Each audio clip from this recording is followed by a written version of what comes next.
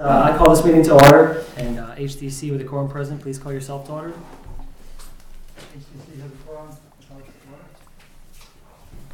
Great, thanks, Everett.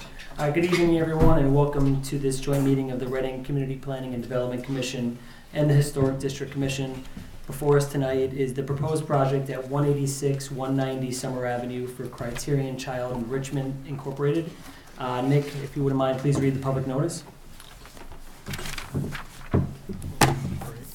Notice is hereby given under section six point, under four point six point four of the Reading zoning bylaw and section three of the Massachusetts General Laws, chapter forty-eight Dover Amendment, and under section 5.18 of the Massachusetts General Laws, chapter forty C Historic Districts Act, and the Community Planning and Development Commission in conjunction, that the Community Planning and Development Commission in conjunction with Historic Districts Commission, HDC, will hold a combined public hearing on Monday, January 25th, 2016, at 7:30 PM in the Great Room at the Pleasant Street Center, 49 Pleasant Street, to hear the application for a limited site plan review as submitted by Robert Littleton Jr., President of Criterion Child Development Incorporated, for the properties located at 186 and 190 Summer Ave, Assessors Map 15, lots 240, 294, 295, and 296, and to amend the the certificate of non-applicability and certificate of appropriateness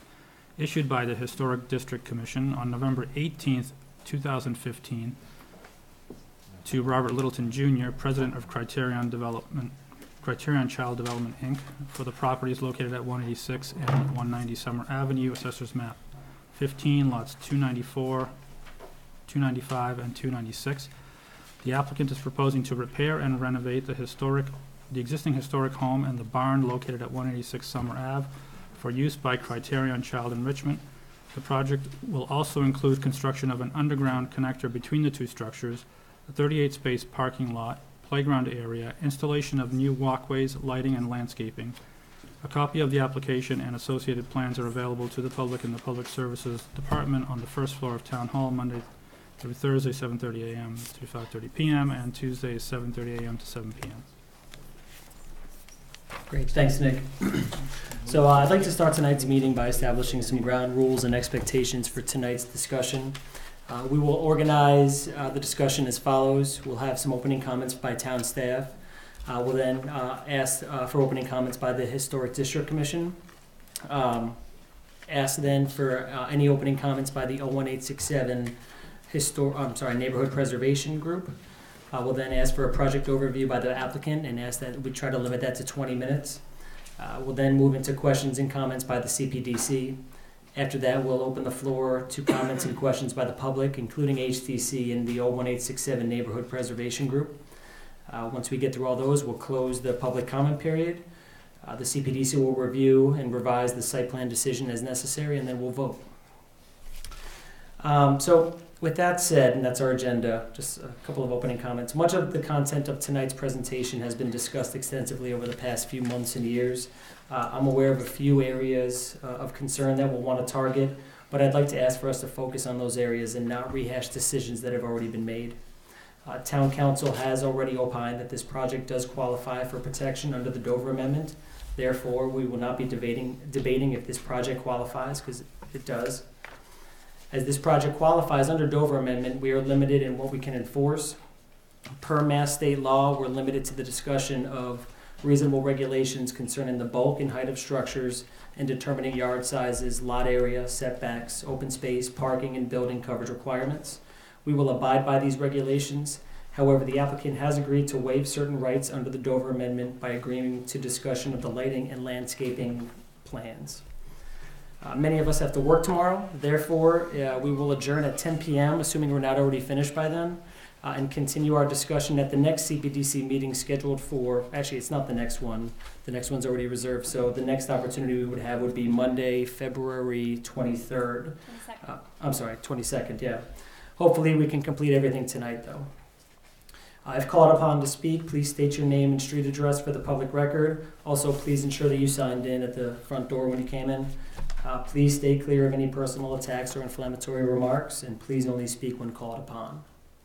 So with that said, I'm going to pass the mic to Julie, who's going to open us up with some town staff comments. Hi, I'm sure most of you are familiar with the project that I am. Um, But basically, um, the applicant has come to the CPDC with a revised set of plans that does not include any proposed additions to the exterior of the building. They are proposing to restore and renovate the two existing structures on the property um, and connect them via an underground connector. They are proposing 38 parking spaces, four of which will be handicap accessible. Um, And they are proposing walkways throughout the site to connect the two buildings, as well as drainage improvements and some landscaping on the site. So that's a general overview. The applicant can do a better job explaining the details for you. Great, thanks, Julie. And uh, Everett, I'd like to give you an opportunity to speak on behalf of the HDC. Everett Rogers, Chair of the. uh, Do you wanna take the- Commission? Sorry, you want to take the mic. Sorry. Yes. Um, Everett Rogers, Chair of the uh, West Street Historic District. Um, Just a quick comment, the Historic District Commission has approved certificates of appropriateness and on-applicability on the date of November 4, 2015, uh, based on the plans submitted to the HDC. We are here tonight to show that if there are further changes that would improve the site, we are here to uh, confirm them, just so to make it so that uh, Criterion doesn't have to go back and forth between the um, two committees over and over again. That's that. Great, thank you. Is there anybody from the 01867 um, Preservation Group that wants to provide any opening comments? Please. Um, Mary Ellen O'Neill, co-chair of the O and eight, uh, six seven neighborhood preservation. We are just going to be making some comments that you received in a copy of our letter, uh, regarding the number of parking spaces. I think that at this point, that's what we will be, uh, bringing forth tonight. Thank you. Great, thank you. All right, so with that, um, I will turn it over to the applicant to provide an overview of the project. So, Ken? Thank you. Do we need that? I, I think we do need this, right? Yes. Yeah, all right. There's a mic stand over there. Thank you. My name is Ken Margolin. I'm an attorney in uh, Newton, Massachusetts, and I represent uh, on this project Criterion Child Enrichment Incorporated. Uh, What we're going to do is, I'm going to introduce the people here for Criterion. I'm going to give a very brief overview in light of your your request to to keep our comments within 20 minutes if we can. Uh, And then I'm going to turn it over to Jack Sullivan, engineer, and John Gonzalez from DHK Archi- Architects. Uh, First, I want to thank both boards for holding this joint hearing. I know it's not done all the time, and we appreciate the willingness to come together uh, so we don't bounce back and forth. Uh, Here for Criterion is uh, Dr. Bob Littleton, Criterion's president, Dan Coed, the COO, uh, John, uh, Jack Sullivan, engineer, uh, Mickey Krupmalnik, who's the senior project director from DHK Architects, and John Gonzalez, the project director. John Brader is also with DHK Architects. Also, uh, we may not need their expertise, but if there are questions regarding the underground connector having to do with the fire safety or the vertical lifts, we have uh, Jeffrey Falcon from IDR Engineers, who's a fire protection specialist. They may not speak at all, but they're here to answer questions. And Mike Doyle from Garaventa, who is a specialist in handicap lifts and has installed many in Massachusetts. So here's, here's the overview, and uh, Ms. Mercier gave the, the highlights well. Uh, I, I sent to everybody, I think I sent 20 copies of a December 16th letter outlining the changes from the uh, CPDC site plan, plan approval of January 2nd, 12th rather, 2015. And I won't read that letter, but the, the basic changes, the most important ones are the lack of any footprint changes in the exterior structures. There'll be no addition. That's gone as a result of our work with the Historic District Commission. Uh, There will be an underground connector between the uh, existing house and barn. Uh, The driveway will be reduced from 24 feet to 20 feet. And although we understand that no town official can speak for this uh, CPDC, uh, Jack Sullivan has vetted that with the fire chief, I'm told, and, and he was fine with it in terms of, of fire safety. Uh, There'll be a change in the amount of pervious pavement used because as a result of our work with the Historic District Commission, which, uh, of course, was concerned with the visual impact and minimizing visual impact, uh, we will use more pervious pavement. Four parking spaces that were closest to Summer Avenue have been moved to the back of the property so that there can be plantings where those spaces would have been. So that's, that's a change. Uh, At the request of a Historic District Commission member, a good request, I think, there are gonna be seven trees planted alongside the driveway, again, to, to soften visual im- impact and in- increase attractiveness. So those are, the those are the, the major changes. There, there are two items I, I want to address, uh, really three, before I turn it over to Jack Sullivan. Uh, First is the issue of parking. Um, I don't know if, if all the CPDC members were here back in, in January, but you, you may remember the, uh, issue of packing was exhaustively discussed, debated, analyzed, vetted, and, uh, Criterion was asked at the time to present or or conduct a packing demand study, Uh, and it did so.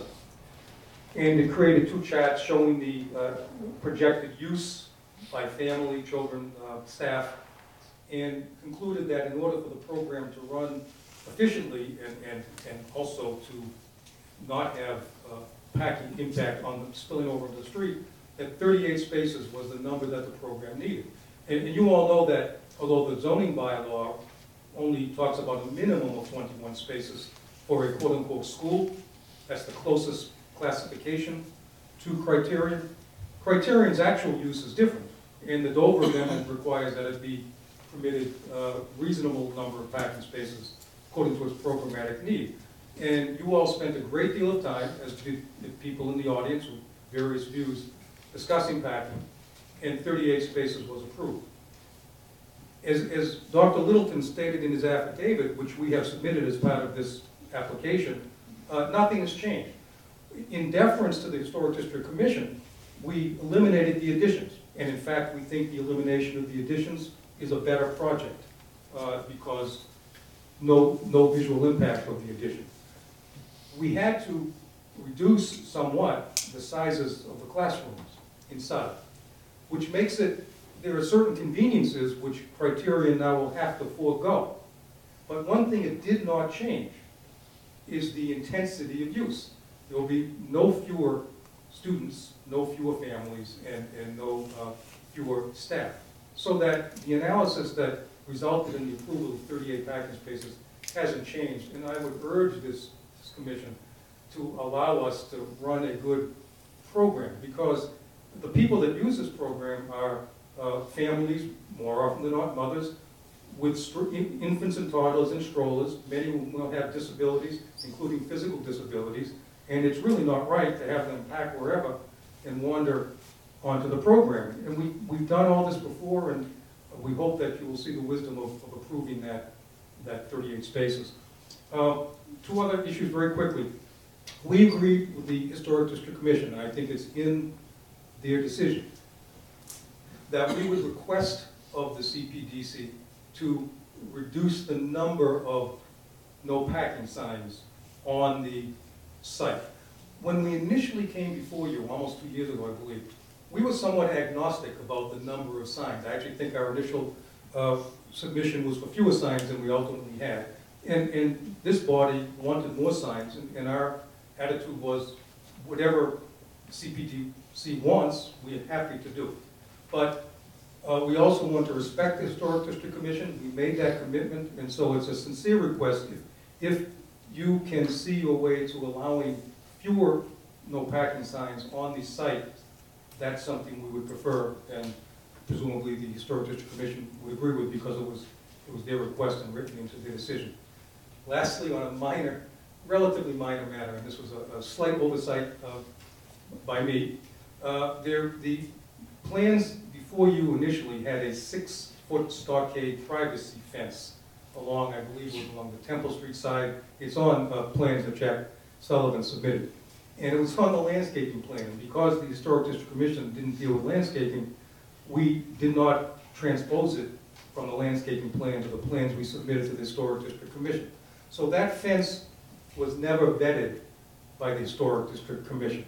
And so what I propose is this, and I'm glad we're all here, uh, we want to accommodate both boards, and we're happy to do so. If, if, we, we propose a, a, a high-quality wooden stockade fence with some lattice work. If the CPD still wants it, and the Historic District Commission approves it, we, we put it in. If the CPDC wants screening, but the Historic District Commission does not want the fence there, won't approve it, we'll plant a, a screen of, of quality arborvitae where the fence would have been. And if both boards are happy with nothing, we'll do nothing. So that's, uh, that's what I have to say, and, um, I'd ask that Jack Sullivan now, uh, come and present the, the broad overview of the project, remembering we're asked to keep this at twenty minutes, and I've gone a bit too long. Thanks. I'll be quick. Julie, if you don't mind opening up the DHK, DHK folder. Uh, for the record, my name's Jack Sullivan, I'm owner of the Sullivan Engineering Group, and I'm just gonna hit on a couple items in regards to the site plan and the drainage for this project. If you can go to the very end, and then I'll work backwards, Julie. Page eighteen.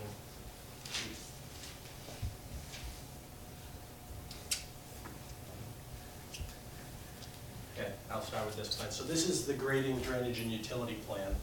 And when we originally came before CPDC, we uh, came in with uh, a 24-foot drive on the site entrance. There'd be vertical granite curbing, and it was traditional pavement.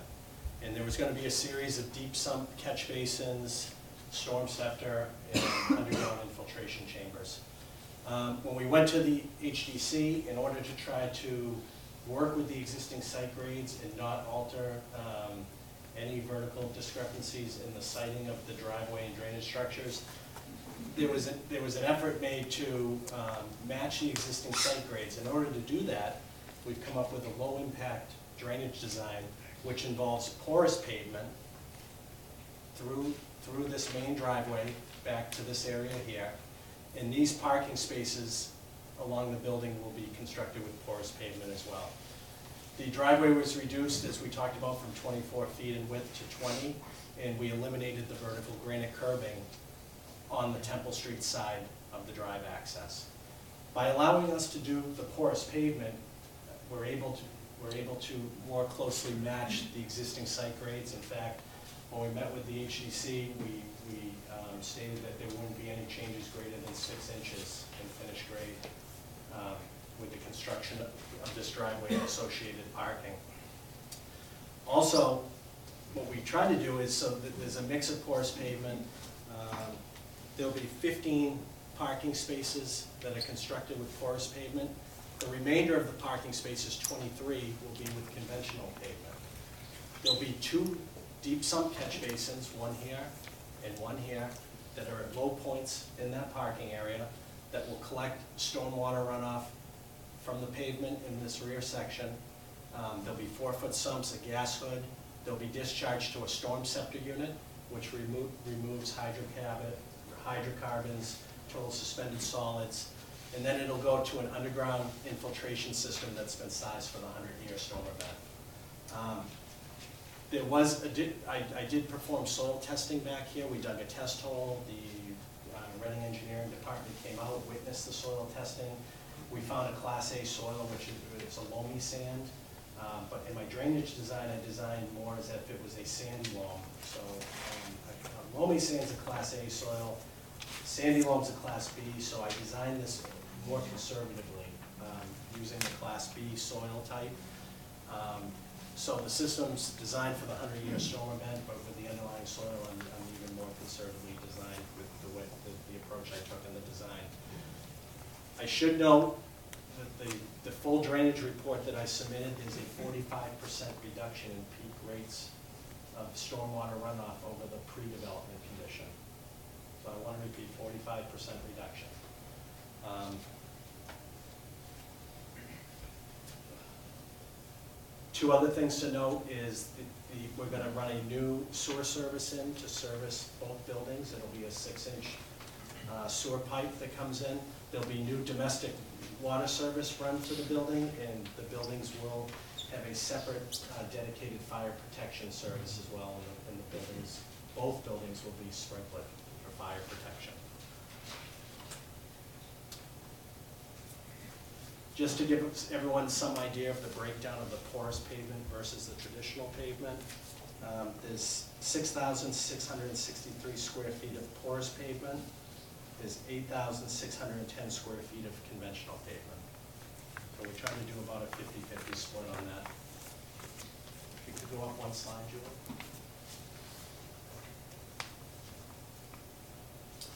Okay, this is to fall back to what Ken spoke on.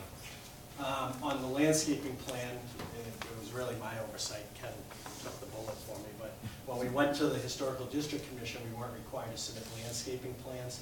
I never transposed the fence that CPDC had previously, previously approved along this section of the lot line here and here onto the, onto the current landscaping plan. Um, I tried to provide a detail, this was the detail that CPDC approved at, at the previous hearing. There would be a total of six feet in height, there'd be one foot of lattice work up top, so there'd be a five-foot solid section of, of wood fencing.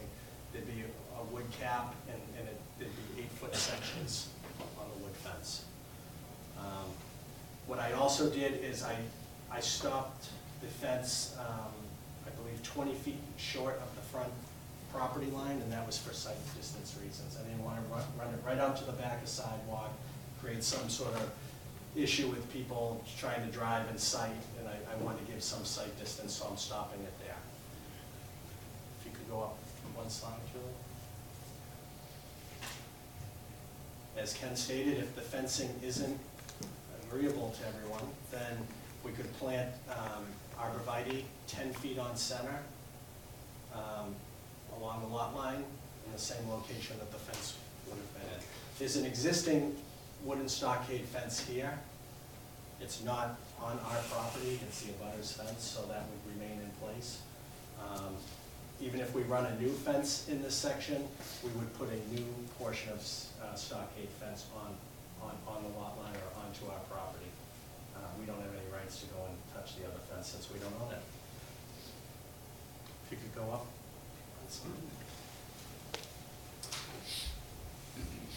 This is the photometric lighting plan for the site. Um, Not much has changed here since the original approval, but there are a couple of things to note. Um, Previously, we had, we have, uh, the CPDC approved twelve-foot pole heights with light fixtures. There were a total of four approved previously. When we went to the HDC, we reduced that to three. Is one of the twelve-foot poles, is the second, and here's the third. So you can see they're mostly situated towards the rear of the property. There'll be seven bollards to help light the walkways, two here, two here. There's another one right here, there's one at the back of the building, and there's another one somewhere here as well, but they're basically, oh, right here, I'm sorry, right there. And those are basically just for, for walkway for safety, um, for any pedestrians on the walkways. And there'll be some wall-mounted, um, fixtures on, two onto the, to the barn, two, one here and one here on the main house. There'll be one emergency light mounted to the back of the building. That, that light is strictly a security light, it's not meant to light the athletic field, anything like that, it's just a security light. It'll be mount- mounted at a twelve-foot height on the building, and, um, it'll, it'll be on a timer. um, As well as all the lights on site will be when, when the, um, project closes at five o'clock at night, the lights will go off. Jack, I think the language was when no business is being conducted. When no business, thank you, Ken, when no business, is- but they will be on a timer, it's not meant to be on twenty-four seven, there'll, there'll be a limit on that. If you could go up another slide here.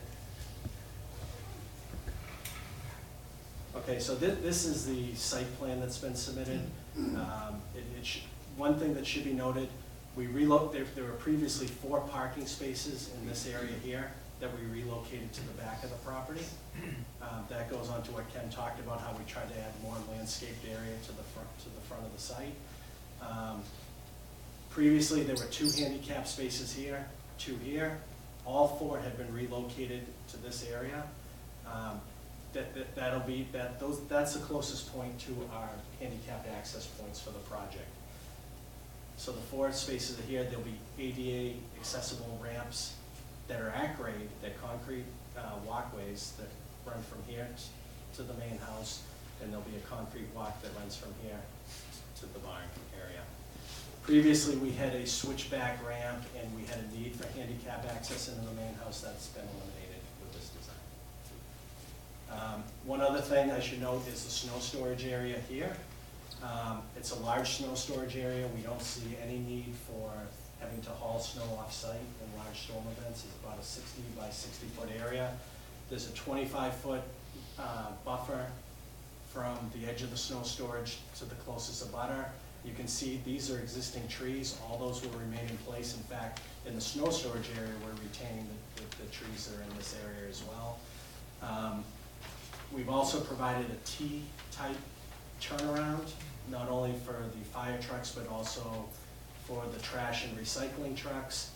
And our dumpster and recycling area is still in the same location that we had previously uh, proposed. And I think that'll wrap it up for me. I just have one thing to say on the porous pavement. I know in previous hearings, people had concerns about that um, with contamination. What I would do is I I printed out some material from DEP. It's, a- it's a Mass DEP-approved low-impact treatment technology. In fact, at Silver Lake in Wilmington, they just retrofitted the parking lot there. It had conventional pavement. They retrofitted it with porous pavement and some other low-impact design techniques. They've been doing studies on the water quality. There's been no history of contamination. Um, And, and we're not, and that's at a beach, that's at their beach area. So they, they went with that type of, type of um, method of of dealing with stormwater that was low impact. That's what we've tried to do. We've tried to uh, eliminate curbing, try to eliminate uh, drainage infrastructure, and um, try to come in with a low-impact design that would visually look right, but still provide a good environmental, really safe site as well. Um, I think at this time, I'll turn it over to John, and if there's questions, I'll come back up and answer. The, um, uh, Ms. Mercier uh, made a comment about the combination of the three lots into one, I wanted to address that. Uh, We have uh, an A and R approval not required letter from the CPDC, and uh, the lots will be combined. Um, We didn't want to do anything that would change the situation of the current owner un- until permits were approved, but that, that should not be uh, a problem. It will not be a problem.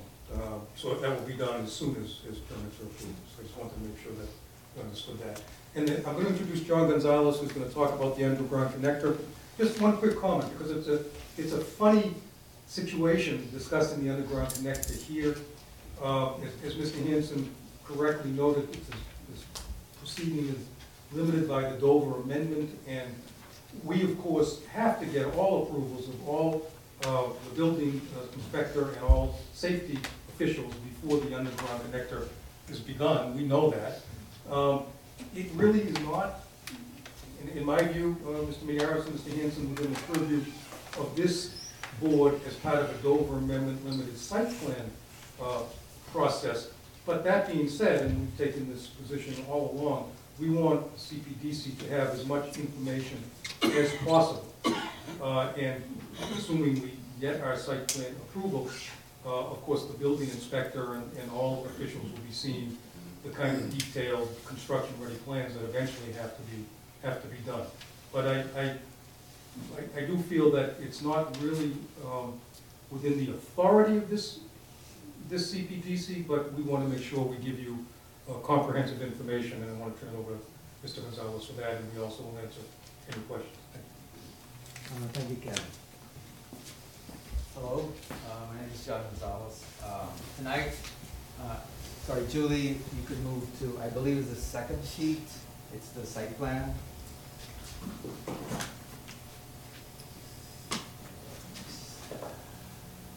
Yes. So tonight I'm going to go over where the project stands today and answer some of the questions that came up in my last pre- presentation to the CPDC. Uh, From our standpoint, the project uh, consists of three s- structures that are connected. The main building, an underground connector, and the barn. Um, Could you go to sheet A zero zero, A zero six? I think that's. uh, So, on the basement level of the main building, uh, is basically occupied by office spaces and uh, support structures. At the same level, you'll see the underground connector. Its uh, interior dimension is about 12 feet wide, it's 10 feet tall ins- from the inside, and it's about 75 feet long. Um, It connects both the main building and the barn. Within the barn, at the same level, are classrooms. Both buildings have uh, emergency egress stairs, two for each, and uh, are equipped with um, wheelchair lifts. The wheelchair lifts are, um, these particular ones are 42 inches wide by 60 inches deep and exceed the requirements by the accessibility board regulations, which are 36 by 54. Um, These lifts connect the basement to the first level. If you could go uh, one, uh, this is the first floor level. At the first floor level, we find uh, the accessible route to both primary structures, the main building and the barn. At, in the main building, you'll find two classrooms and a director's office, as well as the lifts, uh, support, uh, bathrooms, and the two egress structures. In the barn, you'll find another classroom, the lift, and egress stairs. Uh, one more level up. Um, Second, okay. The uh, second level, our, the main building has offices mainly, and, uh, and the, at the barn is basically a storage area.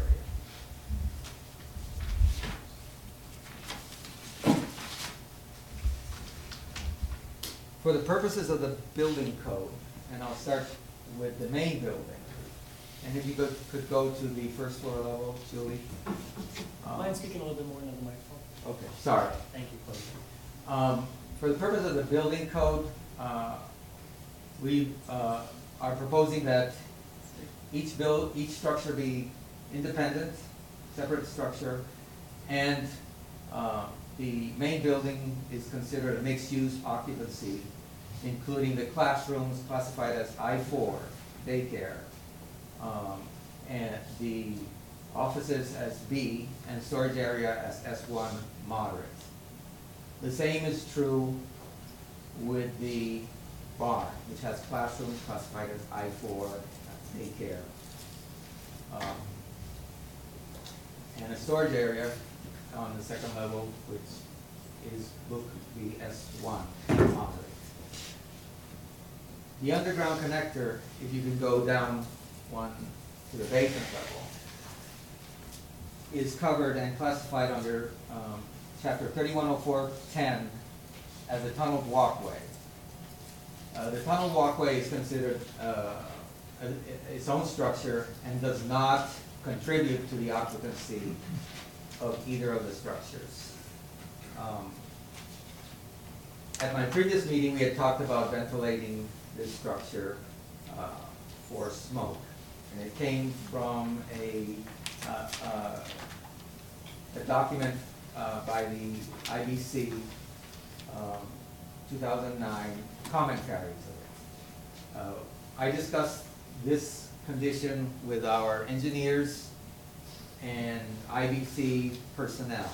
Um, It appears that that particular um, requirement is not required, uh, is an error in the commentaries. And I have a document here, which comes from the IBC, that represents our conversation on that. So, uh, therefore, any need for smoke ventilation is not required for this connector and makes the project a simpler project as we won't have any structures on site exposed.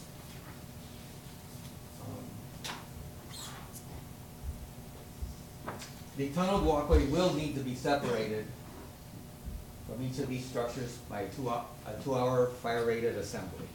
That's required by code. Um, We will be providing normal ventilation to this structure. Basically, the ventilation system that's for the main building will feed the uh, underground connector. We will be providing normal and emergency lighting for all three structures, as well as um, ventilation. All three structures will be fully sprinklered. Um, We'll have a wet sprinkler system in the occupied spaces, unoccupied spaces like the attic, we'll have a device system.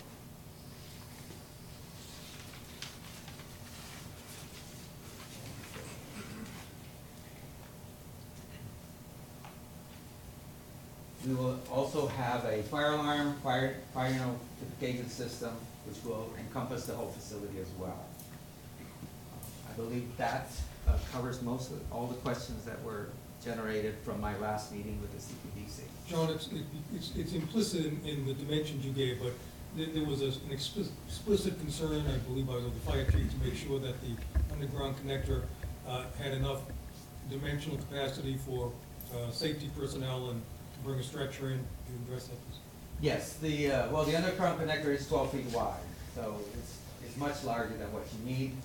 Um, it is ten feet tall, in these are interior dimensions, and it's about seventy-five feet long. Um, I believe that, uh, seventy-five.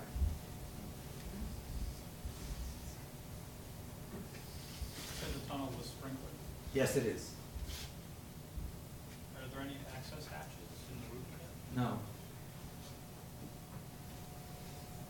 You said the building was a mixed use, is it unseparated mixed use or a separated mixed use? uh, we have not determined that yet, but it is a mixed use. It might be a combination, in other words, some of the spaces might be, uh, combined mixed use, unseparated mixed use, some might be separated. But we're still working on that. It's a big piece, don't you think? Say that again? That's a big piece. I mean, that's a big piece. You got a lot of vertical and horizontal surfaces, and you gotta figure out where that plane is. What's the total square footage of the entire building, all three structures combined? Because if it's Uh, unseparated, you have to, I think it's about twenty-five hundred square feet no. in this, this building, and there's uh, about a thousand. square feet. So what's the worst case? Is I four the worst case for your, um, building area limits? Yes. And what's the limit on that, on unseparated mixed use? Um, Type, what is this, five, just type five construction? This is all combustible, right? That's correct. Um, the, the classrooms will be separated, uh, a separated assembly. I believe it needs to be an hour rated for, uh, for those, and basically generate most of the strong requirements for this facility. Um, They are I four because of the age of the children, and that they are not, uh, with their parents. It needs to be an I four. Breakdown is at, uh, age of two and a half. Anything below two and a half would be supervised by the parents, will need to be I four, and it's not an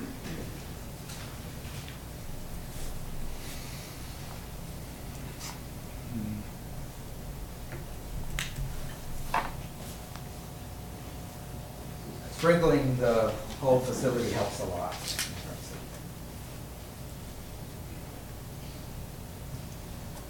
terms Okay.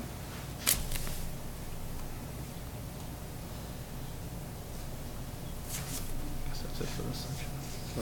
Mm-hmm. Ken, do you have any more? Oh, I'm sorry. Are you done with your Pretty much done. portion? Okay. Ken, do you have any more comments? You're done. Okay. Any other questions? I'm sure we do. Um, So at this point, thank you. We'll open it up to the board, uh, the CPDC, to ask questions, make any comments. Um, I mean, there's some certain categories here. I know uh, parking is one.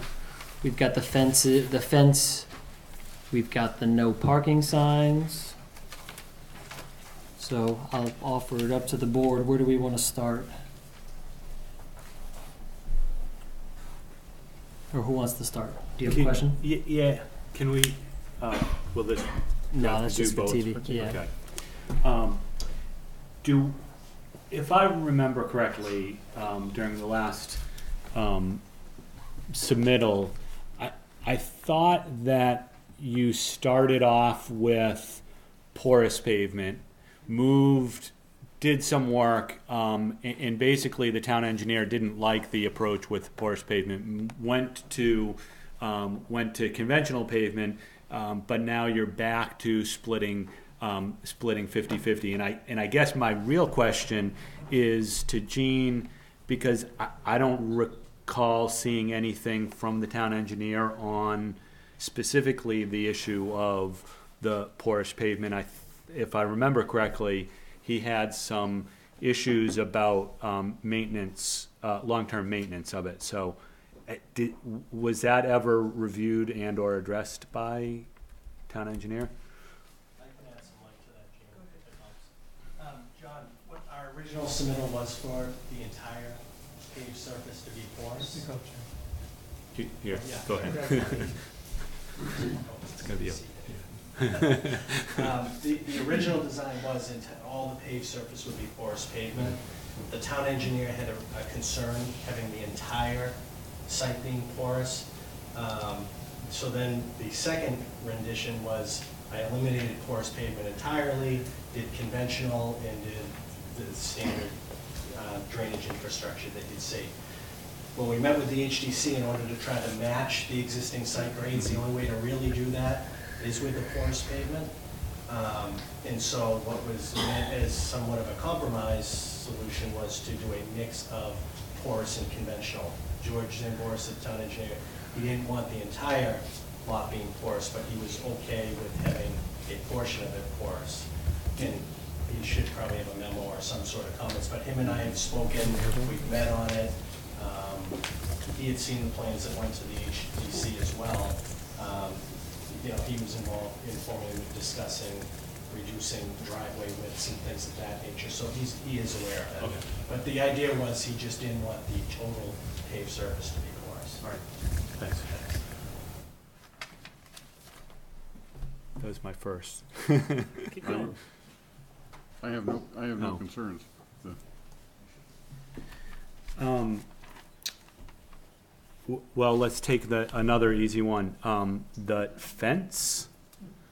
Um, I, I, I remember during the last, um, meeting that it was sort of that, you know, good fences make, uh, good neighbors, uh, thought, and I thought the gentleman, I don't know if he's here tonight, um, it, it actually came up as a request, um, uh, from him um, it, which is where we, where we ended up and recommended that that fence be installed. I don't, I, I, I guess I would feel, I, I, nothing I see changes that feeling that I think that's probably a good idea, but I, I have no idea whether there's any thoughts that that fence shouldn't be installed. And, no, yes. What's that?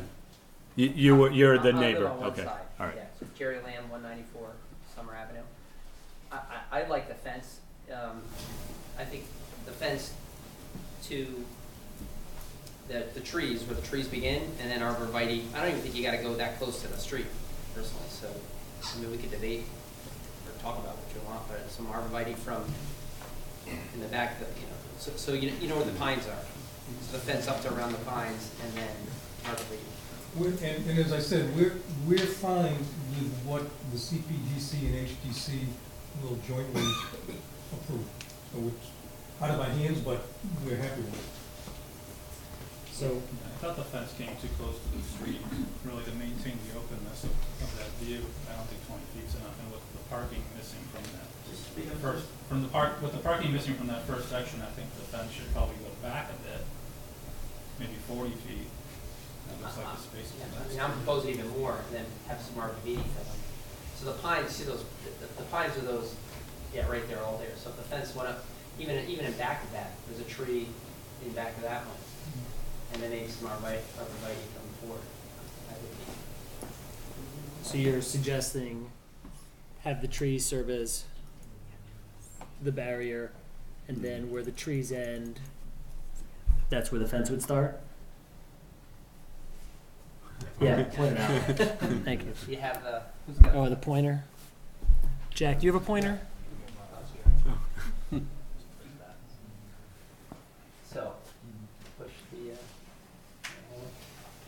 so I'm saying, have the fence come in somewhere in here, and then just fill in with arborvitae maybe to here. You know, I, I, I think, yeah, I like the openness here, I wouldn't put anything up here, Okay. personally. HDC. And then the neighbor on the other side, I think, probably has an opinion. Okay, yeah, well, let's handle this portion first. So Everett into the HDC, what, what's your perspective on that proposal of pushing the start of the fence back after that line of trees? Well, first of all, I feel personally it's way too close to the street. Uh, Some openness there. Sorry. So- Uh, I personally feel pushing it back away from the street uh, gives some openness to the property. I wouldn't object, and I guess the committee has to approve fencing, we did not, we realized that after we got out of the meeting, that fencing wasn't covered. Um, That it not be in the brush, six feet, something to shallow it back a little bit, um, might help a little bit to ma- not make it quite so abrupt. Um, But I see no problem with pushing it back. Okay. How about the rest of the committee? Yeah, your turn. Come on. Thumbs up? All right, so we'll capture that as a condition in the, uh, in the site plan approval.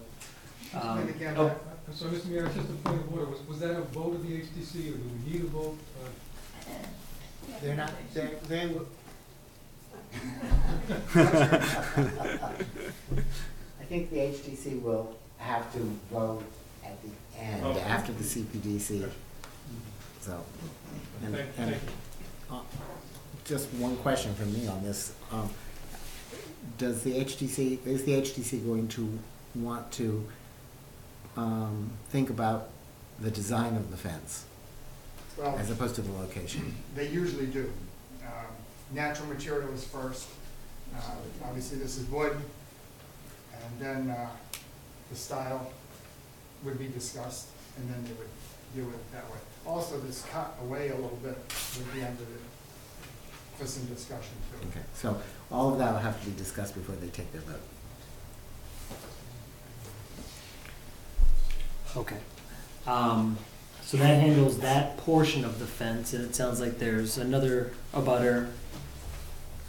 Want to make sure that they have an opportunity to speak. Is that you, ma'am? Okay. Do you mind coming forth and giving your name and? Cinder Romer, one seventy-six Summer Ave. Um, in the Here- plans. here you go. That, oh, really? Um, in the plans that you had originally approved for, um, at the CPDC meeting, there was a fence on the left-hand side that was going to come up to the end of what was then going to be the addition, and then a green screen from the addition to the beginning of the original house. And that fence is completely gone. And I see that, I don't know if those are arborvitae there, the three sort of squiggly looking things on the left. But I would like a fence going from where the, the, there's the chain link fence and the notches in there. Right there, going down in front of the playground. Um, and it, to somewhere near where the barn is, and then a green screen just covering that area where the whole walkway is and everything. And I guess those, I don't think that, those look like they're just trees, what the Father Villa, you know, that, that doesn't seem like it's gonna be much of a green screen. Because what's gonna happen is right now that's a lot of woods. And so I don't see a lot of that right now, but once that gets deforested, once they start with the construction, that whole area is gonna be very visible for, from our side. So I would like a fence going down and then a green screen covering where that walkway is and everything, up to the beginning of the house. We have no objection. Thank You I would ask this, I know it's a little premature, but obviously what we want more than anything at this stage is not to have any permitting delay. So we would agree, I don't know how it would be written, to uh, construct a fence in any style that the Historic District Commission wants. We don't want to have to go back there for a public hearing on the exact design of a fence. We will do what they want, and happy to have that in the order. Okay, great, thank you. All right, so I think that resolves the question of the fence, unless I'm mistaken. Well, we can perhaps come back to that during the public comment. Um, John, do you have more questions? Um, well, the, besides parking, Yeah. uh, uh, besides parking, was there something else that we, um, that we had on the, the list of outstanding items? I mean, remembering, right, of course, that, um, that we're limited, this is limited site plan review. And when you go down through the list of, uh, I'm kind of looking at our, um, council here, when you go down and look through the list of items that we're, we have, um, authority to, to look at, um, scale, um, uh, massing, setbacks, those are all structural, those are all of the building, since the building isn't changed. The, there's two things that I see on that list, which is open space and parking. That's correct. So, those are really the only two things that we have any, I- I'm gonna say authority over in this process. The rest is, re- I'm gonna say more facilitating, um, agreements among the, among the parties, right? Am I Yeah. all on the same page? Yep. Okay. I have an easy one then, I guess. Can we go to the photometric plan? That was, that was set, right? I think it's at the back. There you go. So if we look at the pole fixture that's in the, um, south, near the snow storage, right? And we look at that light spread, it looks to me like the fixture is backwards. Why are we lighting the snow storage area instead of the parking lot? Sorry. Stop touching it. Yeah. Stop touching the buttons. You're right. I mean, it looks like He's the, it looks absolutely like right. that one was copied Yeah. over. Yeah. See it sort of spreading south instead of north? Yeah, it should be flipped.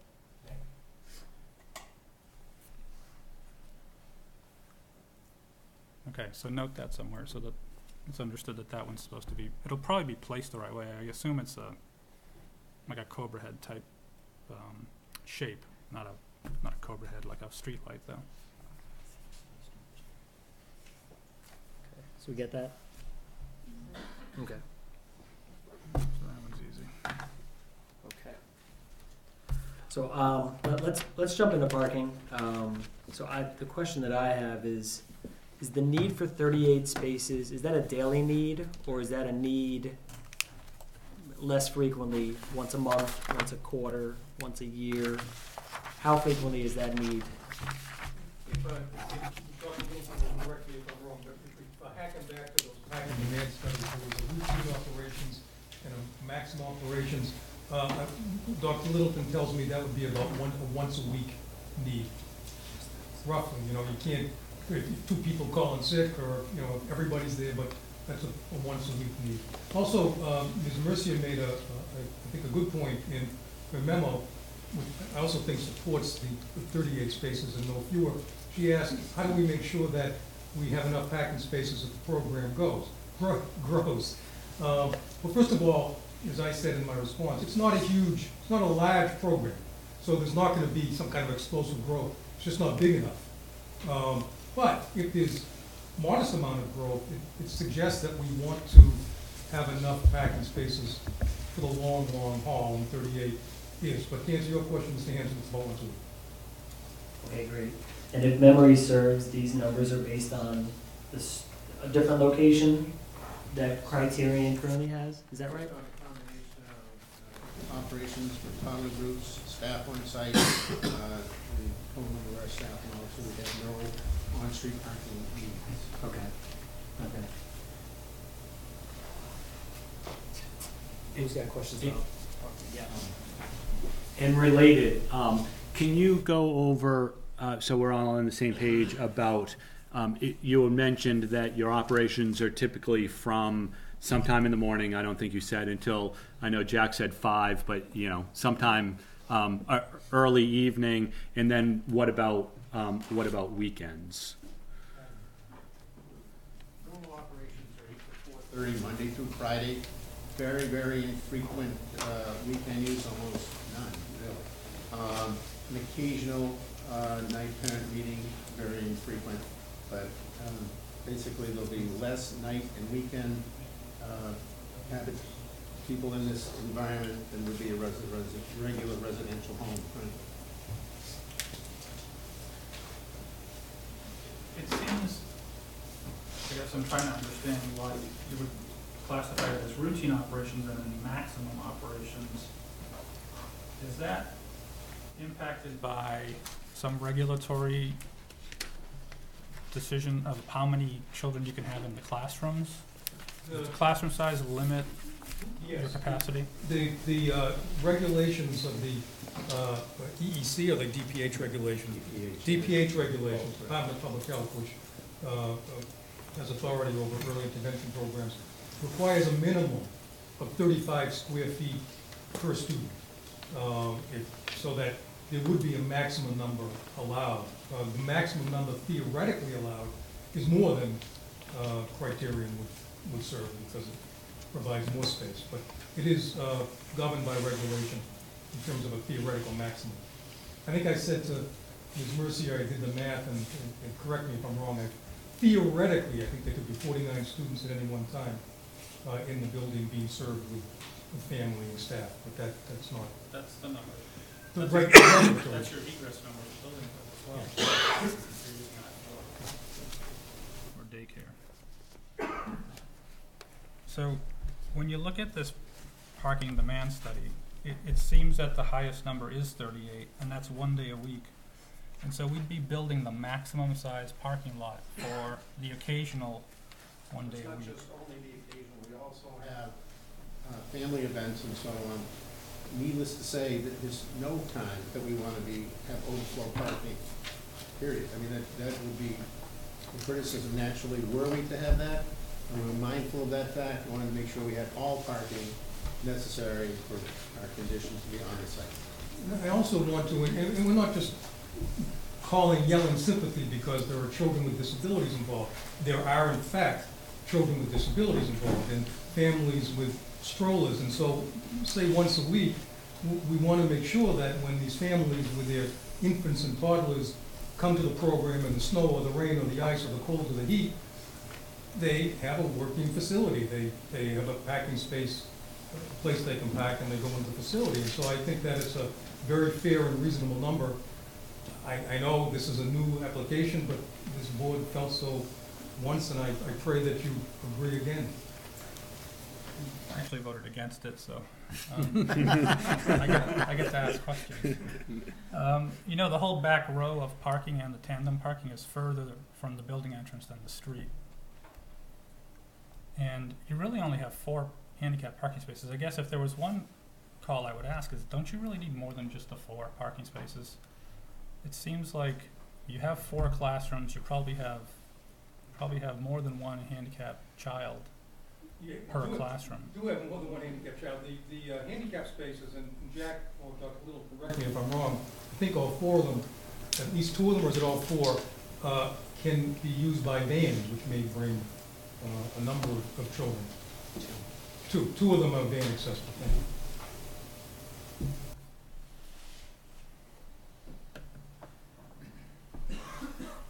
Under code, we need two handicap spaces now, and we're providing four for this use. Yeah, well, don't let code minimums become your design maximums. And they're not, but that's what I'm saying, we, we, we think the four handicap spaces is sufficient.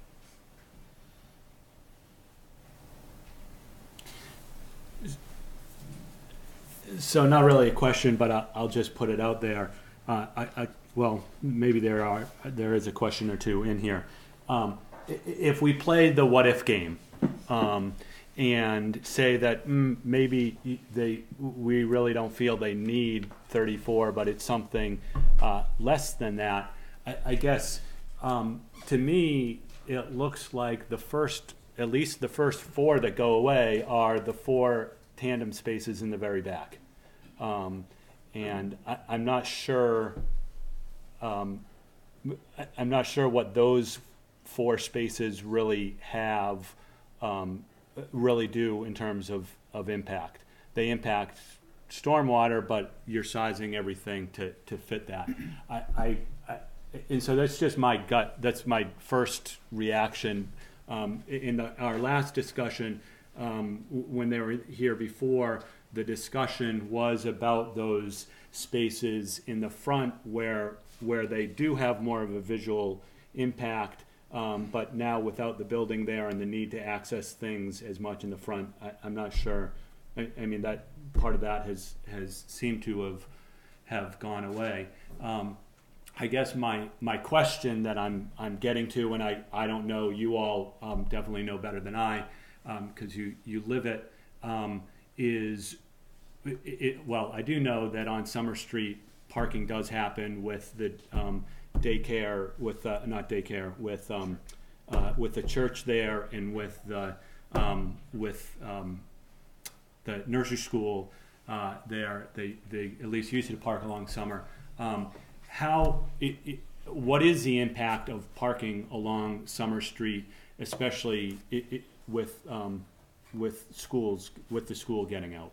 Is there an issue there? Is that a congested, is, is that a part of this whole equation? If, if they start parking, if they start needing more spaces and cars park regularly, um, out along, uh, along Summer Street, is that then a, an issue? And I, I don't know, I honestly have no idea what the answer is. I'm just putting it out there. Hear from the neighbors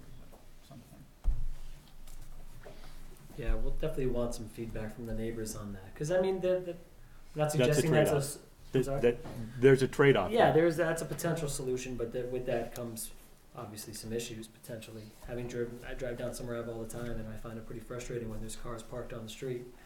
Um, but that could just be my opinion.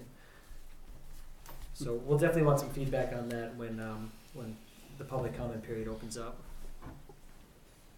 What other questions do we have on parking or, or anything? Actually, you know what, I had, I had a question. Um, with the reduction in the width of the driveway from twenty-four feet to twenty feet, does that do anything, uh, does that create any issues with cars backing up and pulling out of the driveway? So they pull out of their spaces, kind of do a turn and then pull out? No, No? no. On, on the rear lot, we have twenty-four foot aisles. You see how we have parking on each side? On, on this, on a one, on, coming in this way and backing out twenty feet sufficient, there's no other cars that would park on this side that would present a conflict. with Okay. movement. Okay. And there's no concrete, and there's no, uh, granite curb on that. There's no curb on it. So it's sheeted. Okay. Want to uh, relay a a message from Dr. Littleton uh, in terms of the parking in the rear. Staff will be instructed to do their packing at the back to leave more closer spaces open for families. Thank you. Any other? No? Parking, any other topics? No? No parking sign. Oh, yeah, the no parking signs, thank you. So, I don't know off the top of my head, how many signs are proposed in your plan? There's, there's a total of five. Five. So there's one here, one here, one here, one here, one here. And those signs were part of the DRT, the, the police chief asked that those be posted. Okay. Um, Five seems a bit excessive to us, but we were just going with what we were asked to do, and if there's a way to compromise on that number, we'll. Which police compromise. chief? Cormier, who's retired. That's right, think about that. But as we, as we said, we, Any we, debate on that? we're not wedded to the five, I think we additionally proposed fewer, so it's up to you, two boards, tell us. I didn't hear what Everett said. I know, really, was it, As a district, I think we would be opposed to the parking signs okay, because they, They're not original to the structure. No, In any that- way, that's shape, or fair. form. I mean, if the police chief requested it, I mean, that's, in my opinion, that's gotta take a certain level of precedence, but I think there may be a compromise here. Nick made a suggestion of maybe building them onto the fence itself and perhaps integrating them in with the fence with something decorative. I mean, if you did a black and white sign rather than a red and white sign, that might hide better. You could make them horizontal, they don't have to be vertical. You know, they don't have to be a typical traffic parking sign, I think. And- And we probably don't need as many, but certainly maybe down in the, uh, in the back area along, on the fence. Could take care of that. Yeah, That'll- Virginia. That'll Please. protect them from snow. Yeah, Virginia has an idea. Hold on. Do you- Before, gotta take the mic. Yes. At one point, we talked about um, having the no parking just printed on the, um, the pavement. Um, The, the whole point was to try to reduce the uh, visual impact, and certainly, um, I think the police chief was looking at it from a safety issue, but now that uh, parking has been modified and changed, I think uh, a rerun through the uh, police chief's office or their safety officer uh, would probably allow for the elimination or certainly the minimization of the parking signs. Again, it- and our request is, since delay is we're trying to avoid more than anything, we agree, would be happy with any condition which says we will do Right. what is ultimately ordered as of the approval. And that's what I was gonna suggest, that we could condition it to say, you know, kind of put it through public safety's review, and whatever they come out with is what we would abide by. In terms of the Historic District Commission, if, if there's a public safety official that issues an order, if it's a lawful order, as I recall from the Historic District Act, that trumps Historic District Commission authority. We, we want to cooperate with the Historic District Commission, but just in terms of the legality of it, if there's an order of a public safety official, I think that trumps things. But I'm sure that public safety official will work with, with the commission. Yeah, yeah. Well, why don't we, why don't we offer an opinion that we'd rather not see the post-mounted signs, we'd rather see something maybe on the fence, something that's more discreet. The posts are gonna get plowed over the first time they come down with the snow, there's no curve on that edge. And they'll just be all crooked, so. So if we can agree on the design of the signs, and then put it back to the police chief on what's the minimum number that he wants? Something like that. Yeah. Or- or- Would you be? Or, or Yeah. pave, or pavement markings. Or But pavement it does mark. get covered in the snow. People don't look at them. Pavement doesn't work because it gets covered, they, they would wear out, they get covered in snow and. Right, right. Block up the pores and the porous pavement. Yeah, true.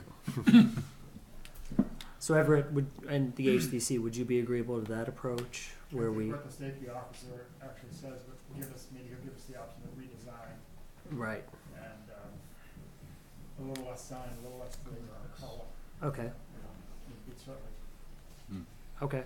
it is on, I know it's Make it look like a commercial property, but it's still, it's, it's not out on the street. Sure. It's on- it's not- Y- Yeah, I, their, their default, th- certainly their default, and I know we've talked with, with engineering before in the past, is, I, I think they even, they might be obliged to, um, uh, uh, recommend, um, these, the typical signs that in, in conformance with the MUTCD, the standard book of signs.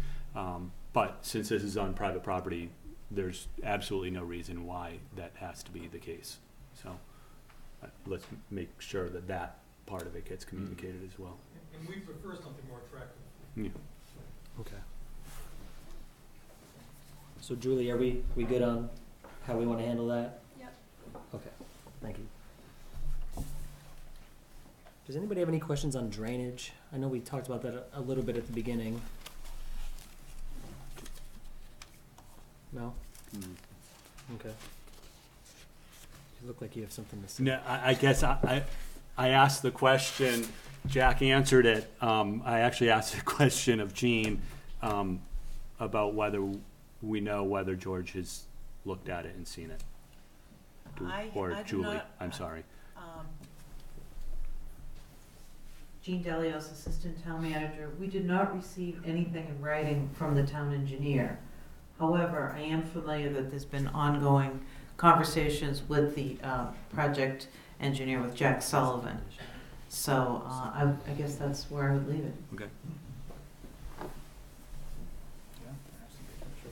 Can, can we make sure we have a condition that we get something in writing from him, giving his input and ultimate, I don't know if it's approval or no concerns? Okay, thank you.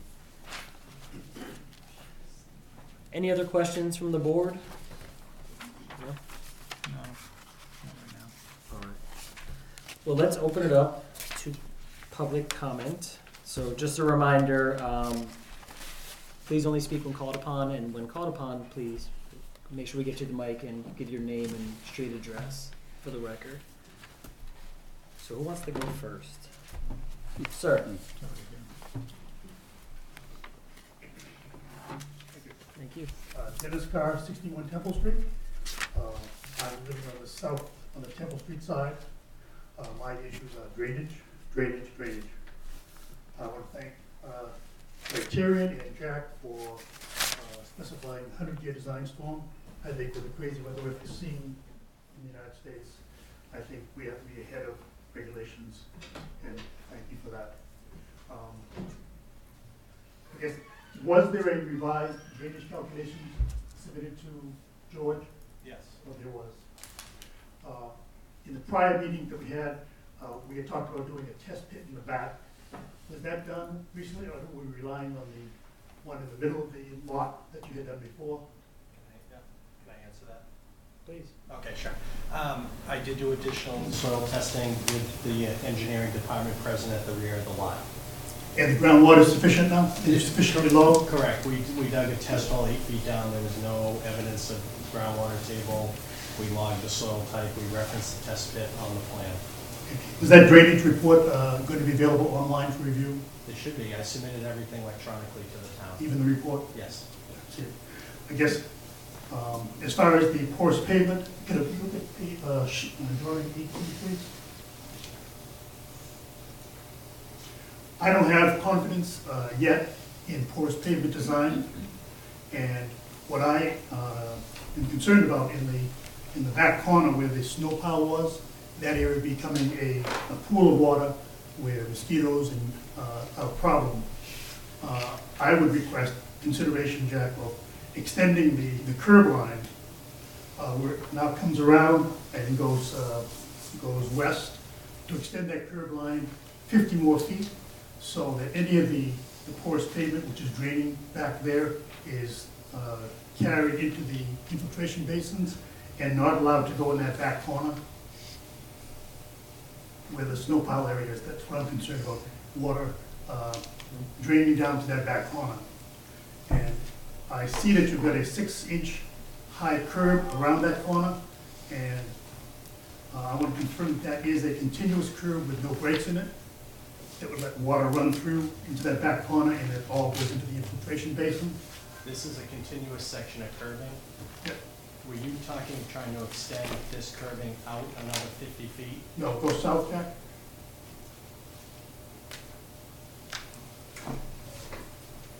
Uh, Go to the, go to the uh, end of the, uh, that lot line, right at the end of the existing curbing, go up, right there. Yeah. Go down 50 feet. It it matches approximately the 96-foot contour. So all of the porous pavement, if that fails, it's going to get uh, carried into the infiltration basins. Is that a possibility to maximize or minimize the, the leakage uh, over, if the porous pavement fails? Yep. I don't want that to go back in that back corner. And that's part of what I spoke about in my opening. re- There's a three and a half percent pitch. This is a higher elevation, lower elevation. Yep. This is the transition point between the porous and the traditional pavement. What I talked about in my opening remarks is I over-designed this. It's for the hundred-year storm event, but I based it on a class B soil, which would be a sandy loam. We found a loamy sand, which is a class A soil. So in the event that if, if this did get filled and, and, and and it didn't get vacuum cleaned and water ran off, this is over-designed based on a soil type that's more restricted than what I designed.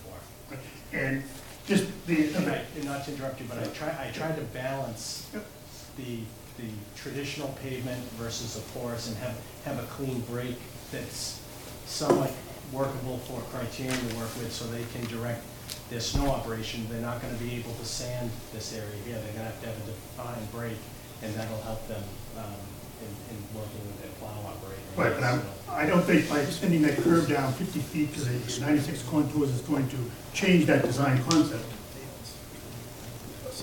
May I ask a question, and this is a question of Everett, uh, Mr. Blodgett, and I I don't remember, I hope you do. If, if we were to do what this gentleman requests, would that be a change in what the Historic District Commission approved? I know there was discussion of reducing curbing when we were before you. On that, that south side, we tried to reduce the curbing, that's why we put in the porous pavement. I think the committee would have to discuss, that's further back than both buildings, so we'd want to think about that, um, as to would it really be a- an objection. Yeah, And I just, the other issue is with the, with the snow pile area, you're having the, the snow plow equipment plow up to the curb. Uh, are they going to, is there going to be a break there? Or how is the, the snow plow equipment going to get into the snowplow area? Jump the curb? No, they won't, they won't jump the curb. They- They'll have, um, they'll be able to plow, they may have to come in with like a small bobcat or something to lift and push snow out into this area. But it, it'll be on a grass surface, and, and that, that's important, that we wanna promote with the snow melt for water to go back into the ground, and that's why it's not going over a paved surface. Right, but they're coming down on, on the paved surface, hitting a six-foot, uh, Right. step up to the curb, Right. and they're gonna lift it over that and go to this, Yeah, the snow plow area? The, the plow trucks can push, and then they can lift their blade and then push some out this way. If need be, in larger storm events, they could have a bobcat come or a backhoe come and physically move snow out into these areas. Okay. As long as there's no break there, I think that would, uh, maintain your design concept. Right, and there is no, it's a solid six-inch reveal of vertical granite curbing. Thank you very much. Thank you. Next question? Please. Can I speak loudly? Uh, we need you to use the mic, please.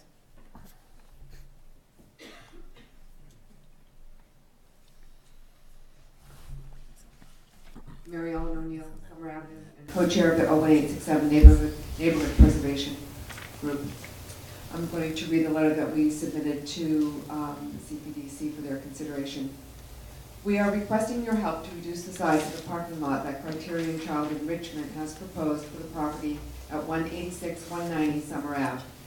When Criterion and Ms. Sean Stackpole submitted their application to the Historical Commission in July of 2014 for permission to demolish the house and the barn, Criterion indicated its plan to erect a 9,900 square foot structure with 21 parking spaces.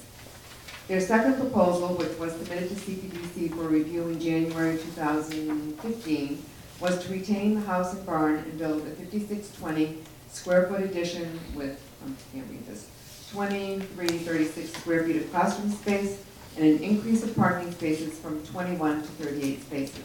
This plan was approved by CPDC. The project then went to the Historic District Commission. The commission denied a certificate of appropriateness for both the 5620 square foot addition as well as the subsequent plan to reduce this addition by 24% to 4272 square feet. Criterion's final proposal now retains the house and barn with no exterior addition to the property.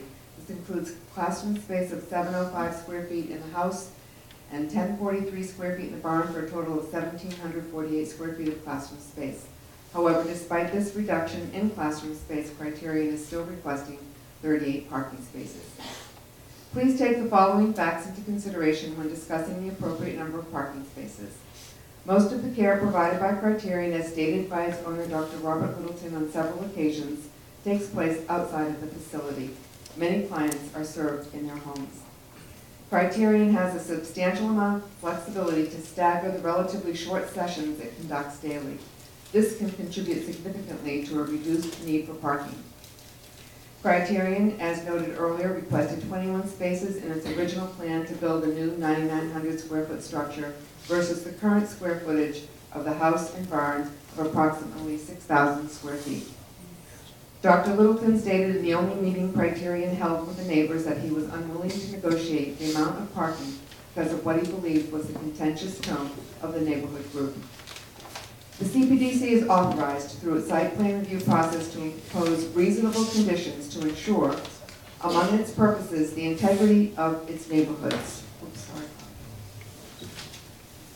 The proposed 38-car parking lot is not reasonable for the Summer Avenue Local Historic District and will have a negative impact on the ambiance and setting of this district. Sufficient parking cannot be built at any local school, church, or small business to accommodate every event. The zoning board of appeals recently provided St. Agnes Church with an exemption from the minimum town parking guidelines for its services and programs. We are asking that CPDC mandate that criterion meet the minimum parking guidelines for its type of use, 21 spaces, and not impose a higher standard given the facts presented in this letter and the unique setting of this property. Thank you.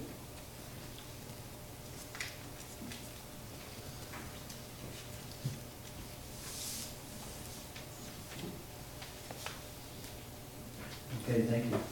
Um, So let me ask a question. Um, With that letter read and the topic we brought up earlier, if we did reduce parking spaces, is parking on Summer Ave something that the abutters in the neighborhood are comfortable with?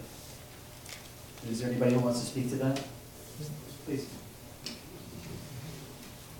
Jerry Lamb, one ninety-four Summer. I- I, I mean, I think I stated at the last CPDC meeting, you know, in the exceptional case that there is some parking that has to go on the street, I personally don't mind. I mean, there's always parking, you didn't even mention the middle school, you know, there's typically always parking on Summer Ave any time of the day. Personally, doesn't bother me, and I live right next to the uh, proposed site, so. Any- Anybody else want to speak on that matter? Hi. Yeah, thanks. Uh, Chris Kowalewski, one forty-seven Grove Street. Um, since we, um, my wife and I have a son with Down syndrome, um, it is appreciative, um, for easy parking. Um, we already have a couple hundred visits, it seems like every week slash month. We already have to walk a lot when we're at Boston Children's Hospital. Um, we don't mind, um, off-street parking. We usually have to take two cars because we both work full-time. So we drive separately to make our appointments. So, um, we, we do appreciate, we, we do use Criterion right now for him, um, the one in Woburn. Um, but we do appreciate any ease, um, that can be given. Um, I just wanna state that, thank you. Thank you. Pam? Debbie owner one eighty-six Summer Ave.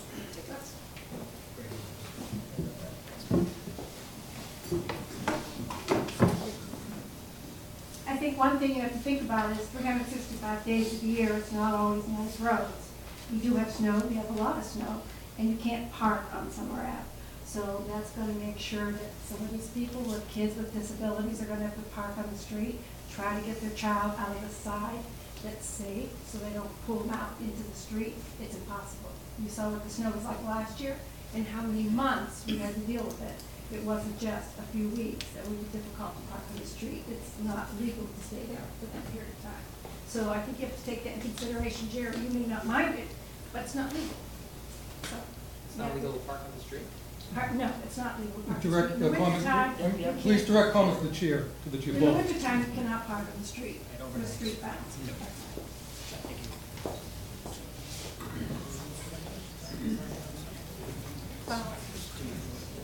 Parking regulations?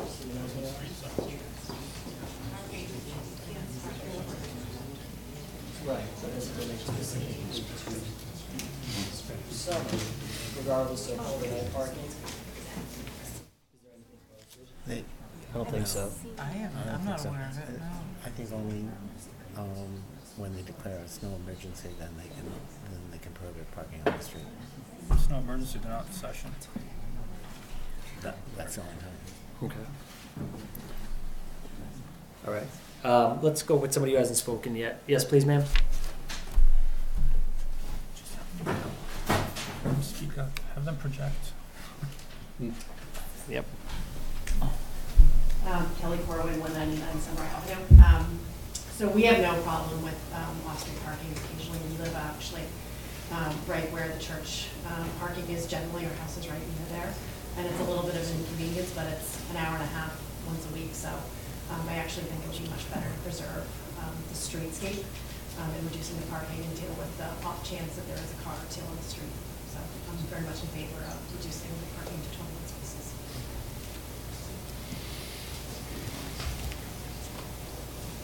Thank you. Yes, please. Hi, um, Ann Garvin, one B nine Summer Ave. Can it just be stated for the record what the classroom square footage was when the parking study was done? Hi, Ann Garvin, one eighty-nine Summer Ave. I just wanted it stated for the record what the square footage of the classroom size was when the original parking study was done and what it is currently.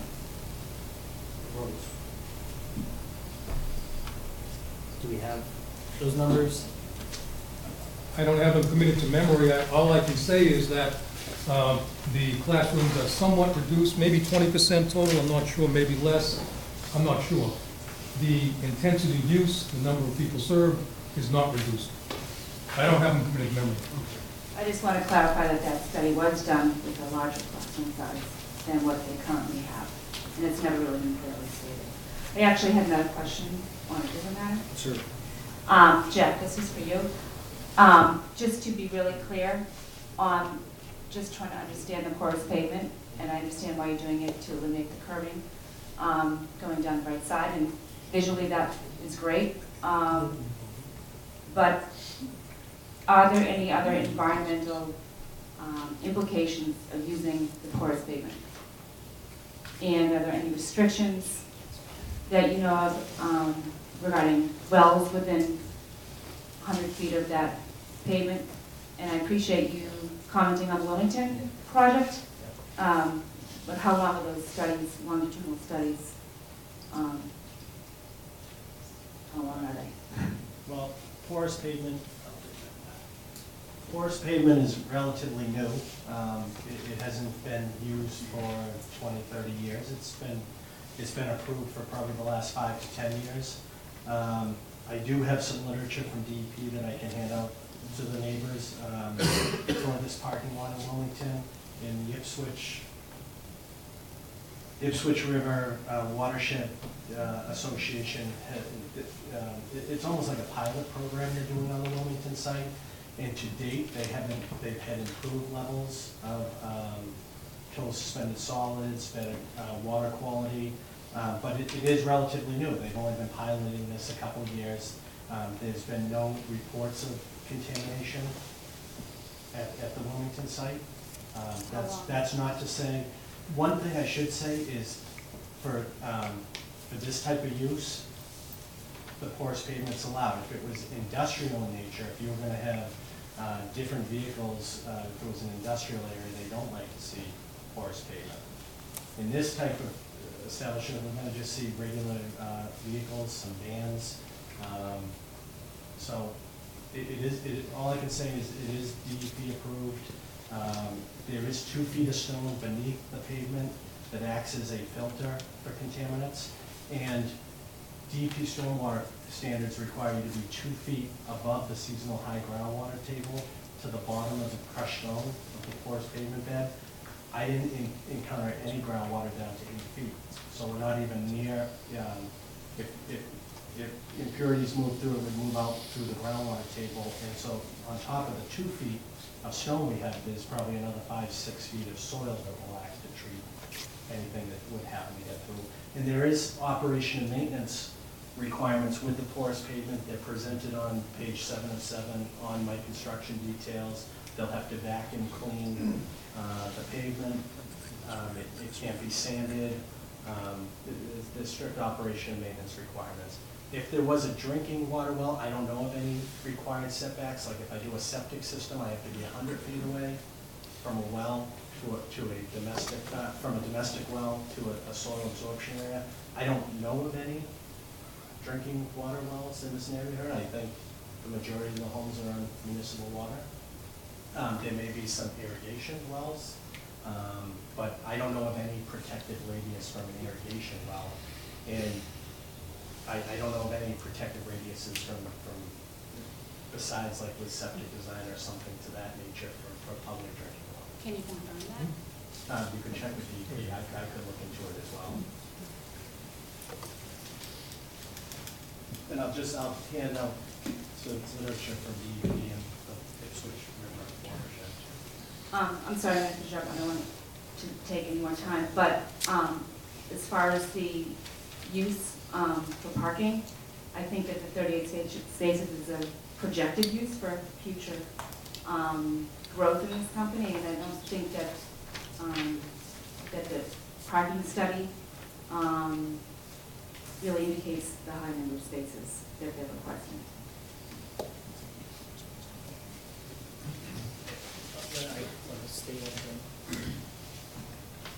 So regarding the, um, what is it, the pavement, the, the maintenance, yeah, the, the pervious pavement and the maintenance of it, we'll wanna have condition regarding the regular maintenance of it in, in the site plan decision. And also, um, with regards to your comment about the projected use, I mean, the information that we got here, which is submitted uh, as part of their site plan uh, information, we believe it's data to be accurate as it is based upon the actual program that will be moving from its current Stoneham location to 186 Summer Avenue. So, assuming that's true, which I have no reason to not believe, um, th- this is this is real information based on existing enrollment and not necessarily projected. Please. Thank you. Nancy Lamb, one ninety-four Summer Ave. Um, I'm a little confused, because during one of the subjects, we were talking about classroom sizes or, or classrooms, and they were coded a certain way, it had to be coded as a, um, daycare because they were two and a half and under and being left. If you're being left, and you don't, you're not driving, you don't need the thirty-eight spaces for a drop-off pickup, or there wouldn't be daycare, they would have the parents there.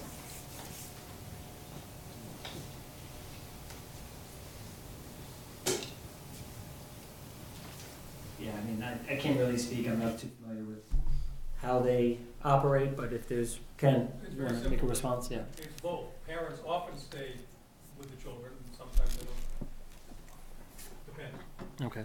But we do want to be careful that we're, because the discussion before by the architects was a, a, a building requirement versus what we're talking about, which is, is zoning requirements and, and usages. So the standards for, and Nick, help me out if I'm saying something cor- incorrectly, but the standards that are applied to, um, uh, uh, for, for building code, things are defined differently. Um, it's not, you don't say, oh, well, they're using, it's defined as a, as a child care in the building code. That means for zoning, it's a child, child care. It, it's two, it's really two different, it's two different ways of looking at things.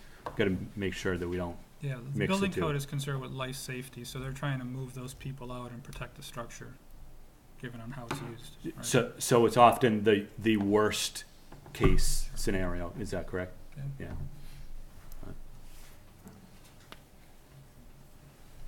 What other questions do we have? Well, anybody that hasn't spoken, please. Who would mind? Thanks, pal.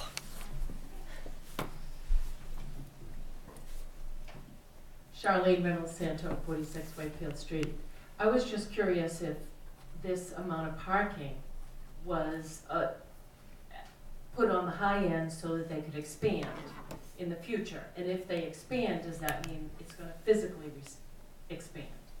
That was a concern I have that may not have what we're talking about tonight, but that just occurred to me and I'm a bit concerned. Okay.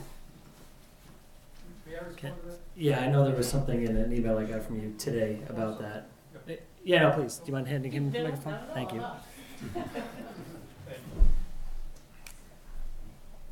Uh, I know, I'm, I'm not laughing, because it's a very legitimate comment. In order to expand we'd have to go back before the Historic District Commission and, and seek some kind of physical expansion. I think everybody here can appreciate it, and, and this is said with dead seriousness, it's not going to happen.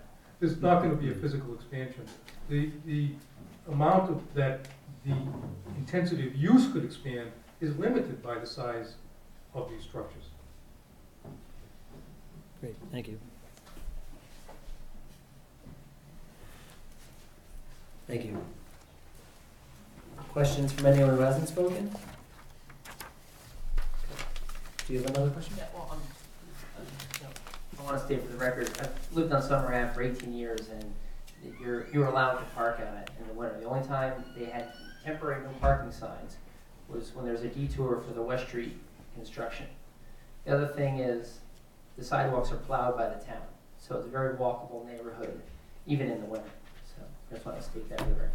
You guys seem like you weren't sure. Okay. Oh, Thank you for that. Okay. Yeah, please, Everett. I'm gonna step out of my box here a little bit, not as a chair, but I'm not always in favor of compromise, but it seems like that the max number is being used for the minimal number of times that it would be needed. Um, but someplace in here, there must be a compromise that says, uh, for the one day a week, we could cut the number of spaces that's over the twenty-one and a half, and we shouldn't be using them all the time anyway, because they may not even need that max number on those days. S- Someplace in here, there must be something that's a drawing line. Um, It's, it's a big concern of the property as it looks, it's a big concern of the safety of the people, but I'm just wondering if we're just worrying about the max situation as what's being presented, it may not be needed. Yeah, thank you. Any other questions? Okay, sir?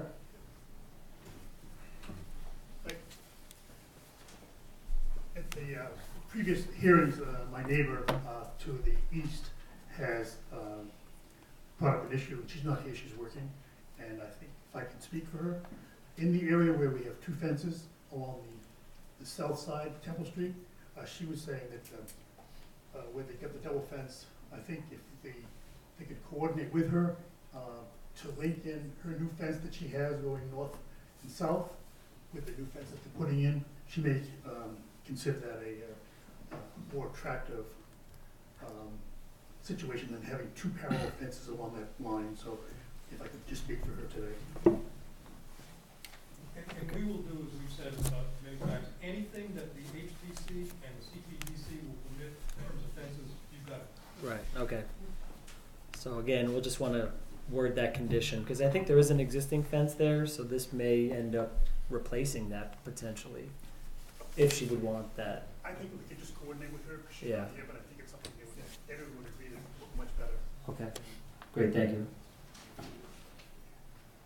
What other questions? All right. Do we want to close the public hearing? Move that the CPDC close the public hearing for the proposed, um, proposed development on Summer Ave for Criterion Child Enrichment. Oh, okay, okay. So I know, it's not a bad idea. Um, normally, we close the public hearing and then we deliberate. Do we want to, we can keep that motion out there, but do we want to keep the public hearing open to allow people to continue to ask their questions? I, I think so. Okay. Something might come up. Okay, so we'll keep that out there. and Allow for continued comment as we deliberate over the site plan decision. All right, so let's move into um, the site plan itself, the site plan review document itself. Do you want to bring that up and Finished just? parking? Well, I, I thought, no, I don't think we did, and I thought we would handle that as part of that piece of the process. Okay. Mm-hmm.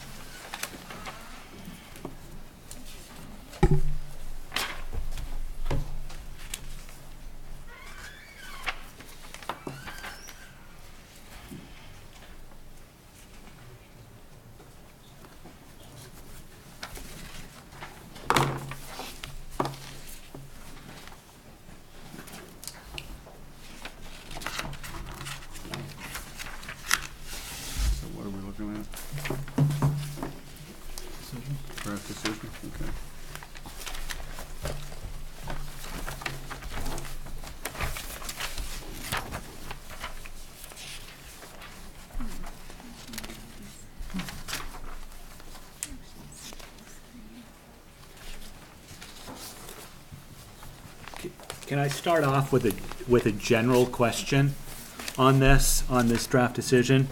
Um, This is for, this is, I think, for town counsel.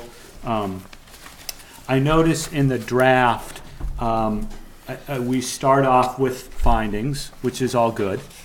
Um, And then we move into um, a a- lengthy set of conditions.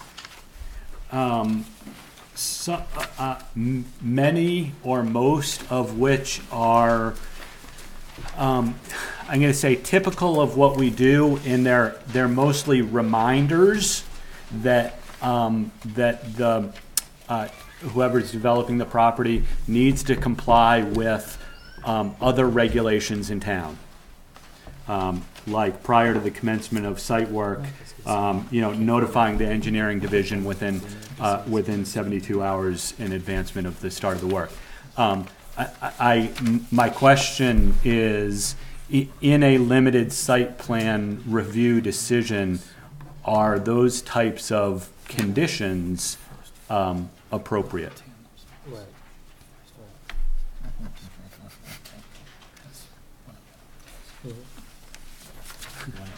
Yeah, please. Or does that put us into a, a, a legal, um, predicament? Oh, we don't want to be in a legal predicament. The- So, so, the, the answer is, in, if this were a more contentious proceeding, I would be asking you to um, strip out any condition that um, does not fit squarely within the the subject matters that are permitted under the Dover Amendment. Um, in this being not as contentious a uh, proceeding, I would simply say you feel, should feel free to put in all of these conditions. um, uh, But you should, and when you do, before you do so, you should ask uh, the applicant to state for the record that there, if there are any conditions that they object to, on the ground that they're outside the scope of your Dover Amendment jurisdiction. And if they're not, um, then he's on the record as saying that he's, um, uh, that he's satisfied with it. And, and for the record, uh, I think I might have suggested as much in my response to Ms. Mercer, but if not, I'll say it for the record.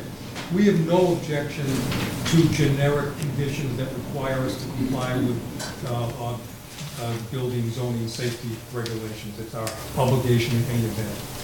And Specifically, are there any conditions in this proposed document that you would object to on the ground that they're outside um, the scope of Dover Amendment jurisdiction?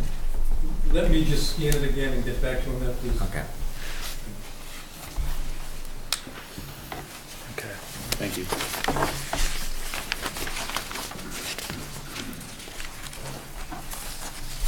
So, kind of rethinking this now. Um,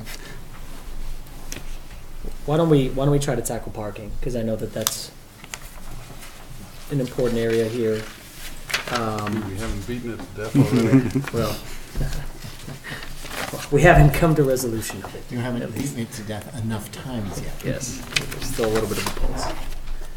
So, does anybody have any input or perspective on the parking discussion? Yeah, go ahead, Dave. Uh, Hello, I mean, I've been involved in this from the beginning of the proposals, and I've studied the most recent uh, information that we've had.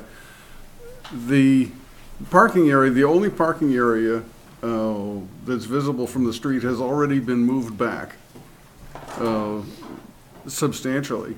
And the, if you will, the, the large parking area is 300 feet away from Summer Ave.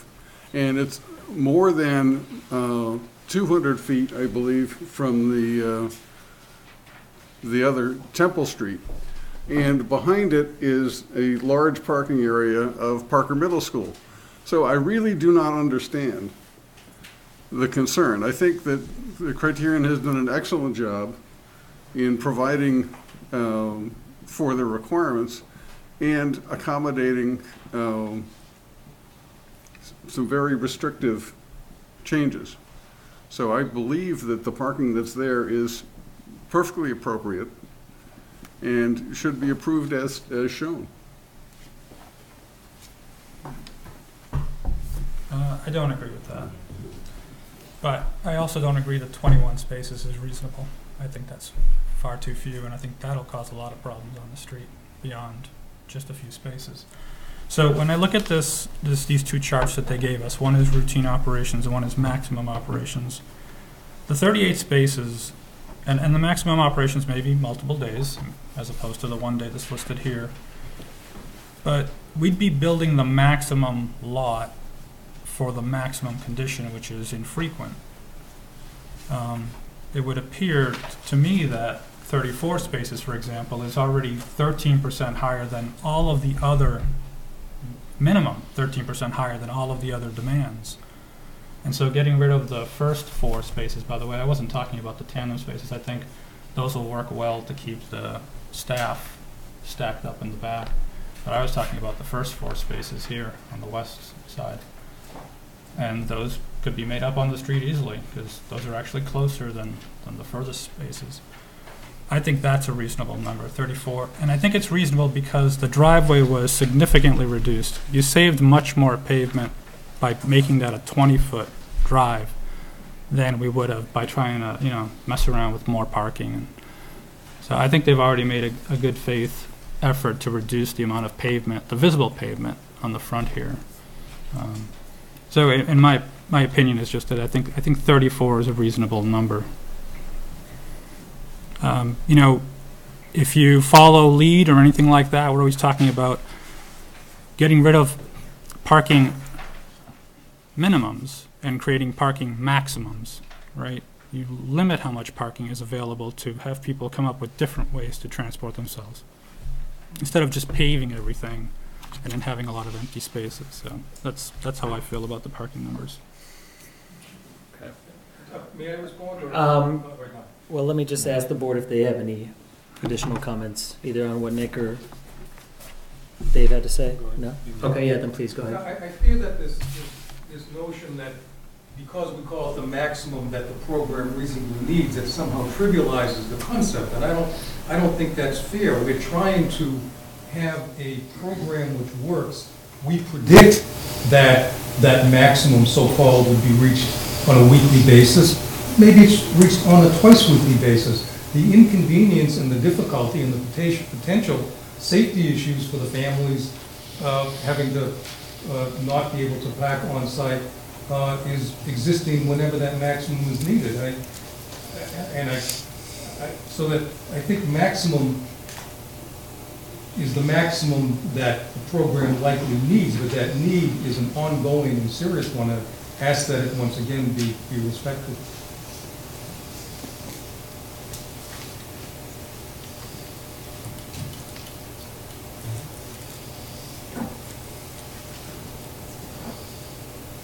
Mean, there's two perspectives here, right? There's one of the visual impact, and then there's one of site use. And that's really what we're trying to get at here. Well, we're trying to find that balance, and I know that there's been a lot of good stuff done to reduce the width of the, the driveway. However, I'm tending to lean towards what Nick is saying, that by reducing it by four could accomplish both. It's that compromise that Everett was talking about, and that planning for the maximum may not be the right approach here. The town's already built the four spaces, and the town maintains those four spaces, so they're saving money. Right? They can park on the street, we already built it for you.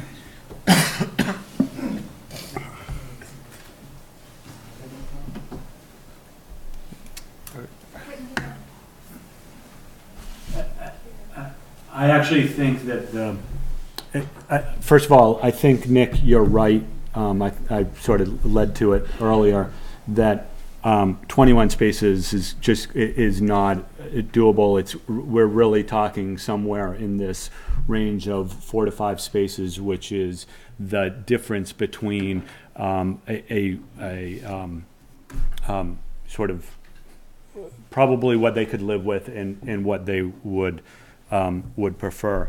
Um, I, I guess though, however, that being said, I'm with David in that I, I actually think that if there were, if they, if they did um, use all the spaces, that the impact would be greater on, by having the additional parking on a regular basis out on the, on the street than tucked um, uh, way, uh, way back in the, in the back there. Um, So I, I'm not sure the, the, you know, the, the traffic generation, which is, which is often the kinds of things that we think about with parking, the visual impact of parking, um, all of that is gonna be, um, well, the, the traffic generation is gonna be the same no matter what. Um, it's, we're really talking about that visual impact and having the more parking, um, um, up on the street. Um, I, I think for safety's sake, it's, it's better to have it, um, um, out in the back. So, that's my thought.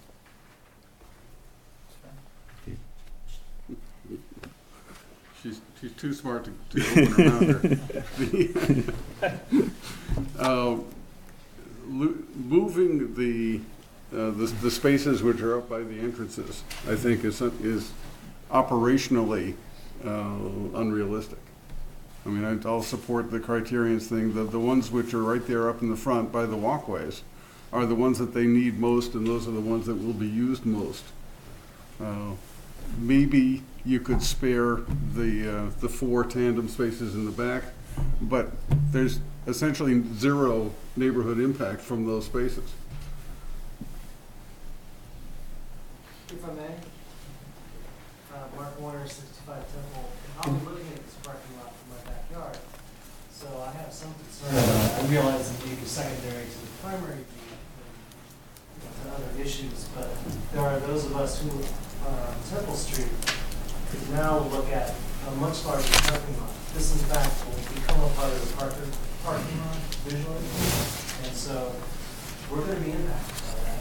So that is a consideration. Thank you.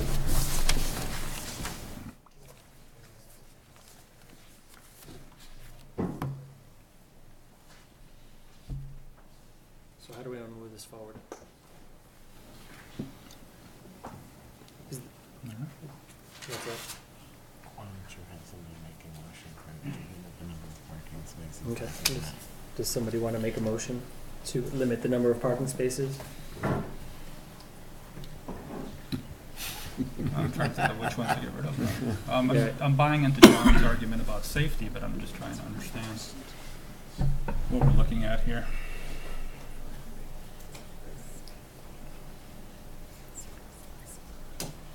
Virginia?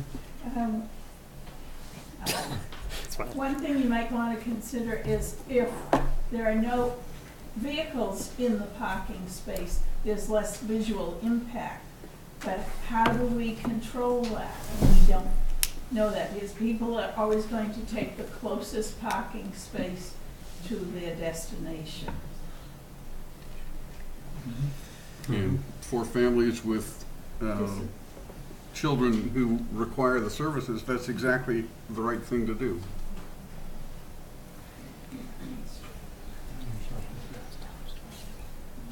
Is that whole lot for employee parking? I just noticed that. That, is that whole back lot just for employees or? No, employees will be asked or required to pack that vehicle, but there would be spaces for, uh, Okay. Users as well. Okay. Is, is that, uh, I'm sorry, is that note left over from when it was just employee parking? All right. Okay. Go ahead, Everett.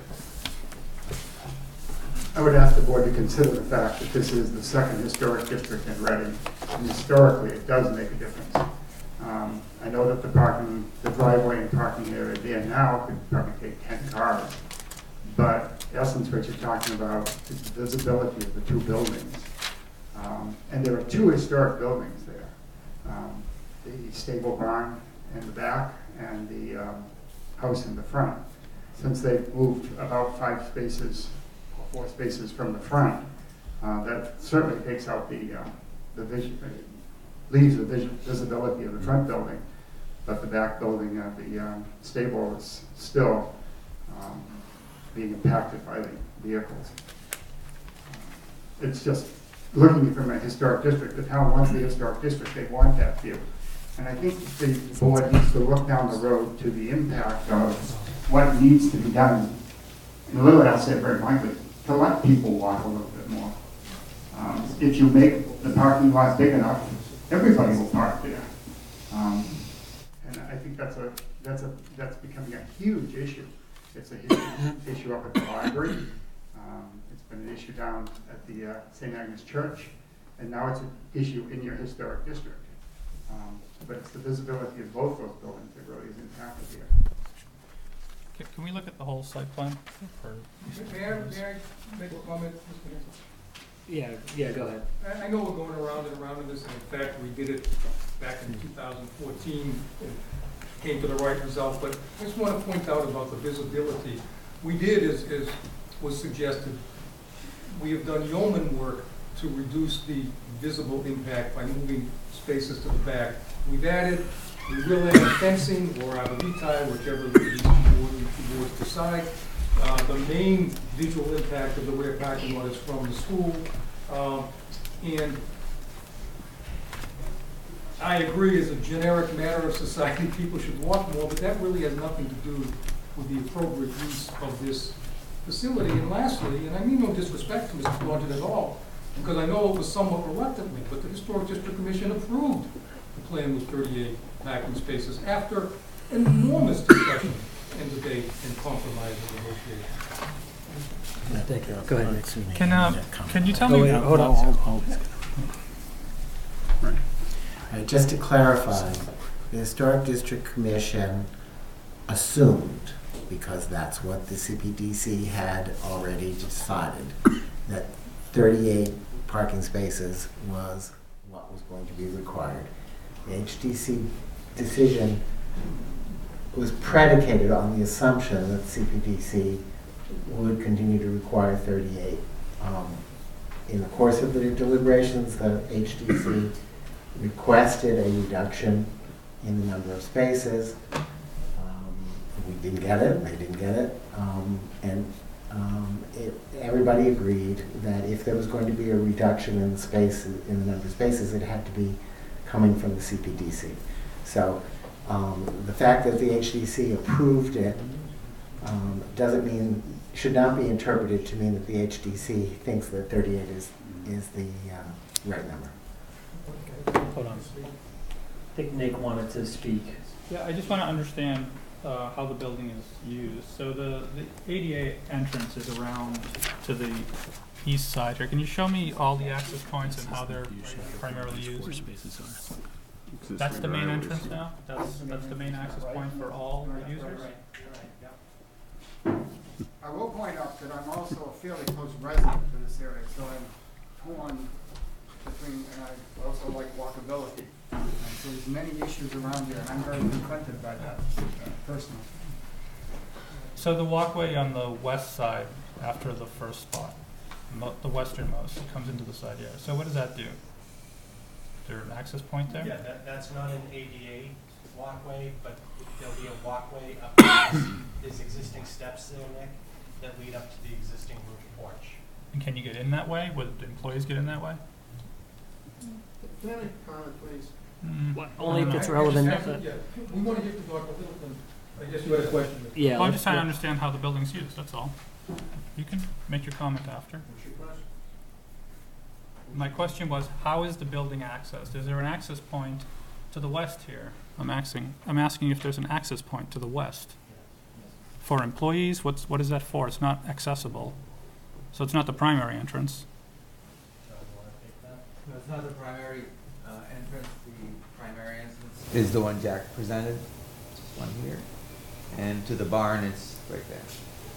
The entrances that he pointed to last are entrances at grade. In other words, they come up on, up the walkway. There's a stepped entrance to the front. Our children are toddlers, and entrances we've talked many times. Many times they're transported in their parents' arms. and Three or four steps is not a problem. So they will use all of those entrances. You've already heard from one gentleman here who's a consumer, who's saying it is his family's preference and their need for support to be as close to the services as we get. I think we have just lost entirely the kind of view that there are families, infants, toddlers, preschool, not preschools, infants and toddlers who require access to this as family support, as a matter of a healthcare need, and to suggest somehow that we're gonna routinely ask them to walk more than they need to walk is that close to inhumane and inappropriate. And, you know, I, I think we gotta have uh, some Since you- reasonable since you don't shooting. really I know- listen, I you listen don't to know all our of personal you, sir. situations, I think it's So if you don't presumptuous mind. to say that we don't let- understand let- handicap let- needs. To just make my point, which is, at some point, the community's needs and the needs of these families have to be considered as reasonable accommodations and compassionate response to needs we get. And I have not heard a lot of that in this discussion. Okay. Well, we're not allowed to discuss it under the Dover Amendment. That's actually, that's not true, because it's part of the reasonable parking. I'm, I'm only asking how the building is used, whether those stairs are used by employees or not. I just needed to know if there was an access point. I'm not forcing a handicapped person to use that access point. Jeff, could I add one thing? Please. What we're not considering too is, there's an existing paved driveway now that runs through here right up to the front doors of the barn. And you can see we're leaving this all open now, so where this is pavement now, there'll be a walkway over here, the, the parking spaces are pushed further southerly. So if people are concerned with the view of the barn, presently with the paved driveway, if someone parked cars all along here, that would obstruct it. If anything, we're providing a more open view of the barn than some of the historical features. And I think we did make an effort with HDC to take four spaces, relocate them to the back. And if the idea of reducing an additional four in this area, that would leave one conventional parking spaces and four handicap spaces. And I think there was even concern if four would be enough, and if we're only gonna leave one conventional space, that really doesn't work for the use. Anyone looking to come in, possibly sign up with criterion, that there'll be one space, people are gonna have to go back, it, it just doesn't work for the use if you think of it that way. Thank So you. I hope that helps a little bit. No, it does. Jeff, can I say something? Please. First of all, I think the whole room can agree that when the man spoke up and had the baby in his hands, the whole room went, whoa. Because he spoke from experience of what, what it's like with a Downs child. That's what we're talking about. We're talking about people that are coming to the school that have children like him and a baby in his hands, and two parents going. So when you talk about spaces, he shut the whole room down with the truth. The other thing, when you talk about you don't mind if people park in the street, the whole complaint about the parking situation is how much metal is gonna be seen from the street. Yet half the neighbors don't mind if you park on the street. So I don't get the argument, they don't want the spaces behind, or they wanna take more away in the front, that these poor people need for their kids, because they're not always coming with one kid. They may be coming with a one-year-old and a three-year-old who's using the services. So you want to make it more difficult, and I've had this comment with Everett before, that he says we all need to walk more. Absolutely, but we're not talking about these kids. These are unique children. These are not adults who need to get out more and work off weight. So the, the arguments that I hear here are kind of ridiculous. Park in front of the house so you can't see it, or park behind where you can't see. I mean, let, let's be realistic here, what So- we're arguing about. I see it a little differently. I think we're having a discussion and a, and a debate about two different perspectives, and we're trying to come to an agreement here, all right? To use words like ridiculous and inhumane is pretty unfair. So I'd like to leave that language at the door, please. So back to the count. I know we had two different perspectives. Does anybody want to make a motion, or do we have more comments and we want to try to work through this? I'll make the motion. Okay. Uh, move that the CPDC reduce the parking to thirty-four by eliminating four spaces. Dealer's choice. But I would prefer the first four, or at least three. And it's not a matter of visibility for me, because I, I'm not concerned with the historic aspect of this, that's been dealt with. This is about pavement, hardscape versus softscape. Do we have a second? That motion? There you go. That's That's fine, that's the All board's right. decision. All right.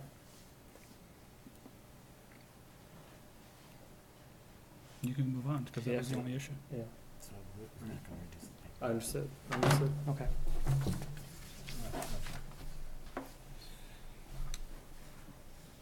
So I think that's the, so nobody seconded that, so therefore, we will not be voting on it, and the parking will stay as it is. So work through the decision. Yeah. So Julie, we got a bunch of stuff today that has to be added to the materials, right? Yeah, so I provided you with updated, um, my, my memo updated and the draft decision updated. It includes comments from, that we received from the applicant's attorney. They should be on, in your packet.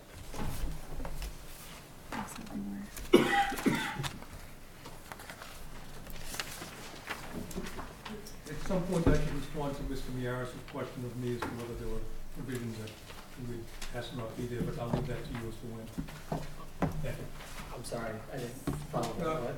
I remember I asked him if there were any provisions that would be objected. Oh, I see, okay, Whenever you want me to let you know. I'll- okay.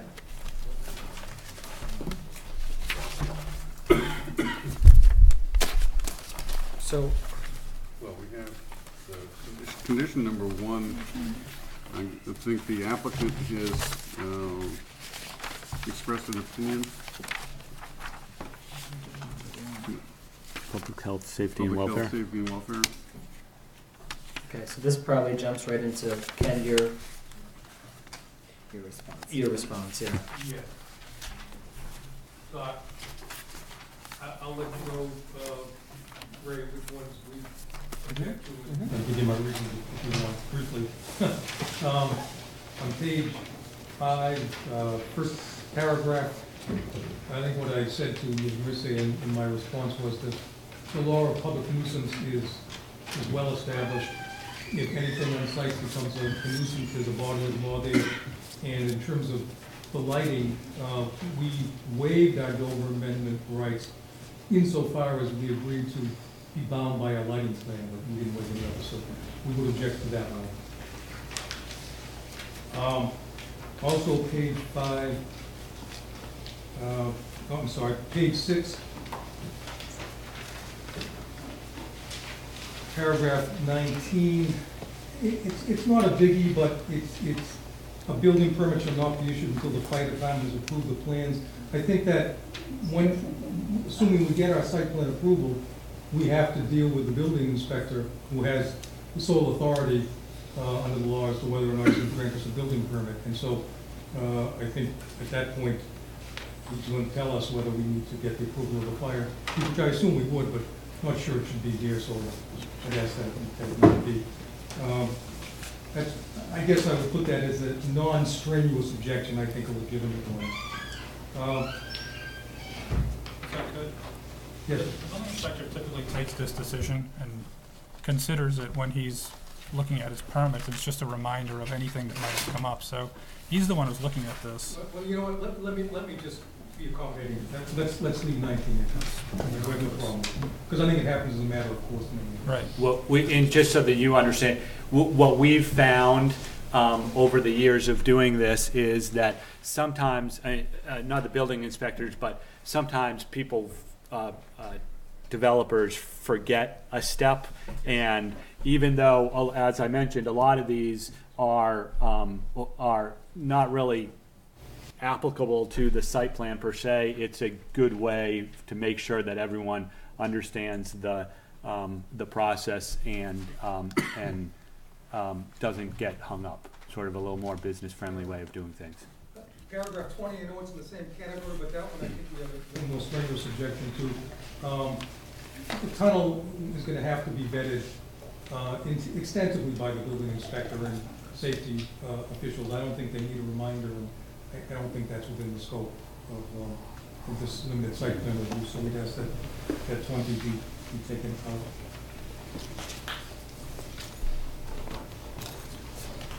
Uh, As I said to Ms. Mercier on page seven, uh, paragraph twenty-three, uh, we think that as written, it exceeds this commission's authority, and we ask for, for simple language, consistent with what uh, Mr. Wheat- Wesson just said.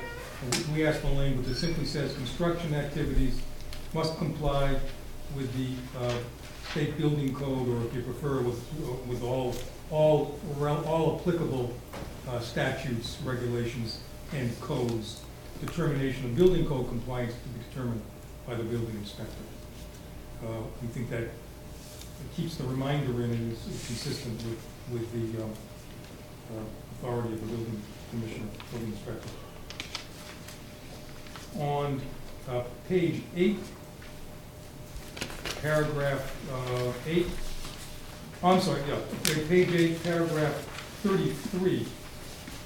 We talked about a, a bond, and since, since landscaping is really not within the province of a Dover Amendment site plan review, but we are agreeing to be bound by our landscaping plan, I don't think the bond requirement is, is a precondition, um, is, should be in here, and we ask that it not be. Obviously, Mr. Miaris is gonna advise you as to what he thinks is doable, and will be bound by his opinion, not mine. Well, let me just ask. The bond is there because weather, weather conditions sometimes, um, um, uh, prevent the completion of the proposed landscaping prior to the desired date of occupancy. So if you don't want a bond, what, how do you propose that the, uh, CPDC address that problem? Well, I I guess my question would be, if we're bound by the landscaping plan, and weather prevents us from completing it before, oh, yes, I'm sorry.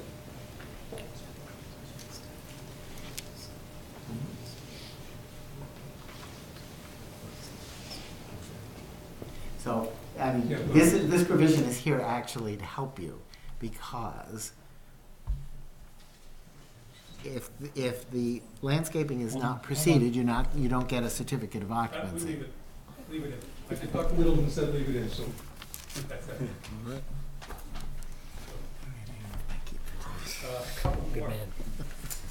Um, Page eight, paragraph thirty-five, and I, I I presume we'll be in agreement with this, because this is the language that was used last year. Uh, I think the second sentence of paragraph thirty-five should read, "All exterior lighting, with the exception of security lighting, shall be turned off after dark if no business is being conducted on the premises." We had an extensive discussion of this last go-around. On occasion, there will be employees who have to work late or the like. We don't want them walking across, uh, you know, darkened uh, area. And so this board agreed to that language last time. We think that's the appropriate language. And lastly,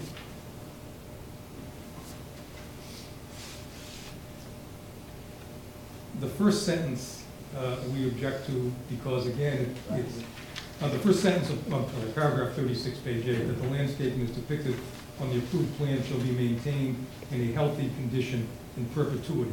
Now, of course, our objection doesn't mean that we don't care about the health of the plants, but we would not agree to that as a condition of site plan approval, and and I think it's clearly beyond the scope of, of the uh, CPDC, that it be removed. However, we would agree that the owner will replace landscaping if it's, uh, if it's damaged, correct? Yes. So it's just that, that first sentence of paragraph thirty-six to which we. I was really just concerned with buffers, any, any landscaping. Really, because if a tree in the middle of his site dies, he certainly doesn't need to replace it if he doesn't want to. We're talking about, typically we're concerned about landscape buffers along the edges, so only those would be subject to this, I think. But as, as we have it laid out, which ones are landscape buffers? I mean, Well, which, it's the which ones we were talking- landscaping? The ones we were talking about potentially interacting with the fence line, I guess, if, if they decide something like that. You know what I mean? Like, Yeah, if, yeah. You know, I had a giant oak tree die in the middle of my lot, I don't have to replace that. Good thing. Expensive. No. So I- I'm just wondering if we need to elaborate on what that means, or if he's willing to leave it, leave it, but. He's gonna hold him to that.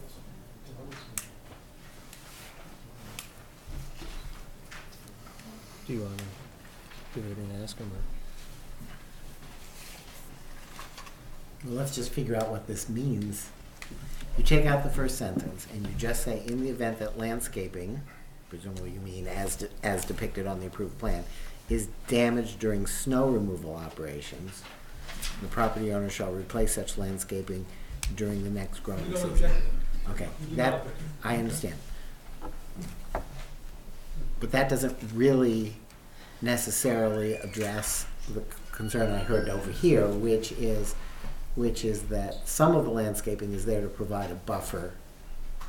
And however it fails, it, it could fail for a variety of reasons. Just fails, period. Right, if it fails. Fine. So you want to get rid of during snow, just it, in the event that landscaping as depleted, as depicted on the approved plan is what, damaged or, or, um, destroyed? Yes, that's fine. Sure. Is that okay? Again. I just did this I- off the top of my I- head, so. I'm, I- I just don't think all of the landscaping Yeah. shown is subject to this. I think it, But we he's just willing need to- to put he- that he's willing to functions put it. as a, that functions as a buffer. Yeah. Okay, so you want to narrow what he's willing to agree to? Yes. Yeah, I don't think, Yeah. yeah. That's fine. Uh, We're Yeah. willing, we're willing to narrow, that's fine. Okay. I, I I, just, I it's mean, unreasonable. realistically, the ability for the town to enforce, um, the li- that ten years from now, that the landscaping plan is exactly as it is here, is, I, we don't have that ability. We, we should have the ability, or, or, you know, no one is really that interested. But what we are interested is where they say they're gonna put an arborvitae and it fails, We, that, we agree. that you replace We it. agree. And so let's not create more We can't do better than agree. Well, okay. So this plan also includes, I forgot now if it's six or eight trees that, um, uh, along the, on the either side of the, um, driveway. We'd be happy to have that subject clause as well. We, we're not trying to Okay. nickel and dime here. I didn't know if that was covered by the decision by HDC. We do not do landscaping. Not at all. Okay. All right, then just. No, leave it we the way it just, is. we just observed that they agreed to do it. Okay. Okay. But, and we have no more objections. Okay, so, so, Just leave it the way you, the way it's written. That way it's all covered, we can pick and choose. I was just trying to narrow it down to be specific about buffers, but if you want the, the, the tree lined, uh, roadway to be covered too, then that should be as well. Okay. So can we pull up the site plan and start making Sure. These edits? Want me to do it in real time? We don't have a keyboard, we don't have a keyboard. Oh, we don't. Yeah, we do it. Yeah, it might be helpful if we do this real time. Is that all right? I'm gonna finish this though. Yeah, yeah. Yeah, so it is nine fifty-three. I say we're gonna stop at ten, but that assumed that we didn't get this far. So we- we're gonna finish this tonight.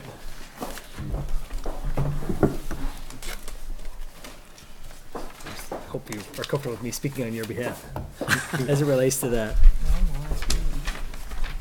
yeah. We're on yeah. page eight of nine. Sir? Yeah. Can Please, yeah, go ahead.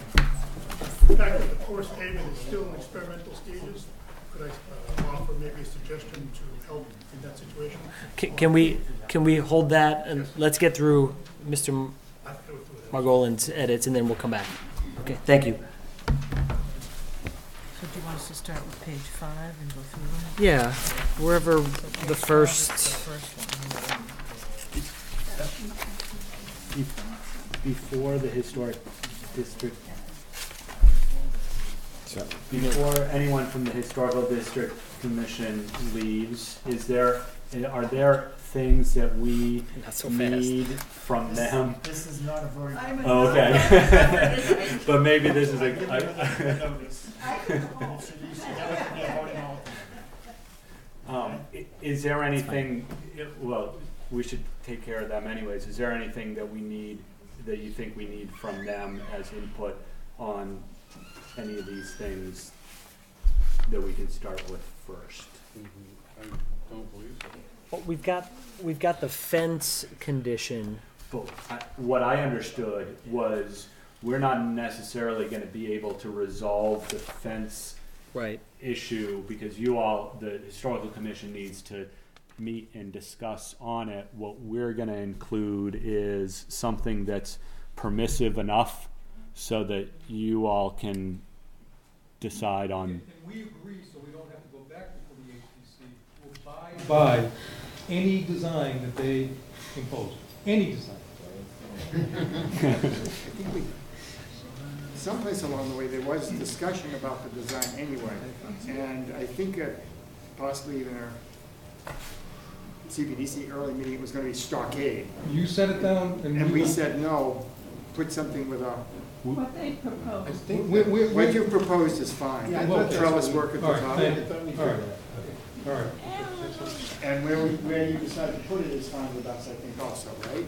Okay, we need to vote on that for you. I, I think the one thing, the other thing that you had mentioned was to have a transition, the first panel to be a transition, right, from, from, uh, I'm guessing four feet up to six, or is that a, a scallop? Yeah. I mean, it probably, that'd be nice where it met the arborvitae or whatever, whatever the, the green screen is. Yeah. Agreed, agreed. Okay, fine. That's the only thing I, that we need to take a vote on that for you, so you know we're all in agreement about that. Sure, take a vote. Anybody want to put a motion on the floor? I move that we endorse the plan dated with a fence, um, what feet? Six foot decorative top, You got it. uh, with, uh, As shown on the plan? As shown on the plan, as shown on the CPD approved plan. Okay, because you're gonna set where it's, the setback would come, okay? And a, uh, a cut-in scallop scope, whatever they call it, on the first, sec- second. The material is of wood. And the material wood, Natural wood. Okay, we have a second. I second it. All those in favor? We're all in favor. Good. It's done. Right? Thank you. Yeah, no problem. Let's, um, You let's have work a, through these. you have a, um, question back Oh, there? I'm sorry. Sir. With the other issue with the curbing, extending it of curbing, what you wanted their opinion on, they voting on it? You want? Extending the curbing fifty feet. Then We have eliminated that curbing in Yeah. our discussion. So the extension of it, Problem with that? Leaving it to CPDC? That fifty Yeah. feet down? Yeah. That's okay? It appears we have no problem with it, we're not, we're not gonna vote on it, you can extend that down if you choose. That is in back of the, uh, historic barn. Well, leave it up to them. Well, it's, it's, so you would be agreeable to extending it, or you'd be agreeable to whichever way it is decided? Is it, yeah, we are agreeable to whatever you decide on. Okay. Okay, so you wanna vote, because you've got, right now you have a condition that require, that, that, okay. um, requires the curbing to be, eliminates the curbing all the way back to, to the, um, uh, where the pervious pa- pavement starts. So if you, if you, Let me just ask a quick question of Jen. Does this solve any problems in your perspective? Uh, Is this gonna uh, achieve the goal that this gentleman's trying to? It's not negative? Okay, cool, thank you. So you want us to put it in, or do you want us to just give you the permission to do it? Guess we have to put it in. you, Put it in. But you, you can vote now to indicate that, that you're willing to defer, but later you're, you're gonna have to actually vote to change your condition if that's what they say. But you don't wanna change your condition yet because they may, they may not choose, they may not approve it. Can I ask a question? Can you cite which, um, condition it is? If we know what it is with the property, that we got it now. Okay, so I believe it's condition thirty-five D. The plan? no, on your decision. On our decision. Using pervious paving material for the front portion of the pavement and extending back to the parking lot at the rear of the property, eliminating curbing along the south edge of the drive, and eliminating curbing along the north edge of the drive from Summer Ave to the first parking space. So it's the, elim- the, the part that says eliminating curbing along the south edge of the drive would have to change from that to Summer Ave to some other place.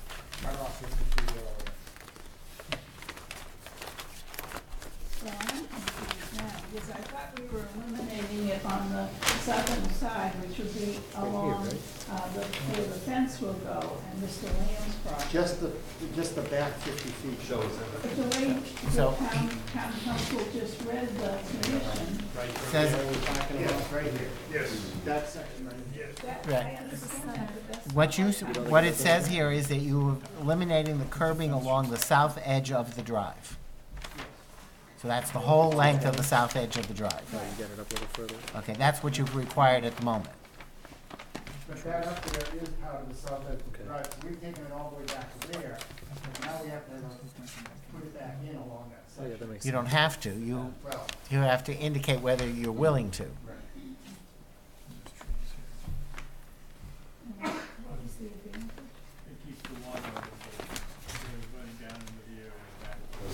Bruce, it pro- it helps provide the drainage into the back section, so I'm not running off early. I mean, we could, we could have the curb go to the edge of that, the end of that, right there. I would recommend right there. So each space is nine feet in width, there's six spaces, that would be fifty-four feet. Put curbing from here to here. Yeah. Is that gonna satisfy the gentleman and the? Yes, yes, thank you. Thank you.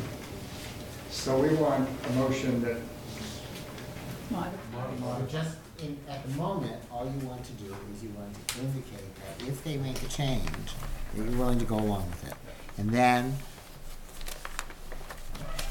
then later we'll vote it. Why can't that all be done now? then, so we don't have all right. Set 'em up. You're right. You can change, change the language right now so it says eliminate curbing along the south edge of the drive in accordance with the CPDC site plan approval. So you insert that into, in, into the condition. If we have that as a motion, Yes. have that as a motion, I make the motion that, we have that, we have that. Okay, Craig is seconded. Okay. Any further discussion? All those in favor? I think that's done. So we're in concur. Okay, thank you. Okay, thank you. Okay, so now back, To condition number one. yeah, now back to condition number one, page five of the site plan. If we can pull that up on the screen and start editing on the fly. Mm-hmm. Yes, they did. It was unanimous. So that first condition, We should be able to Let's actually start strike. at the beginning, because there's a couple of things up here. Um, these are in the findings. Just so we go through all the yellow. in order. okay, okay.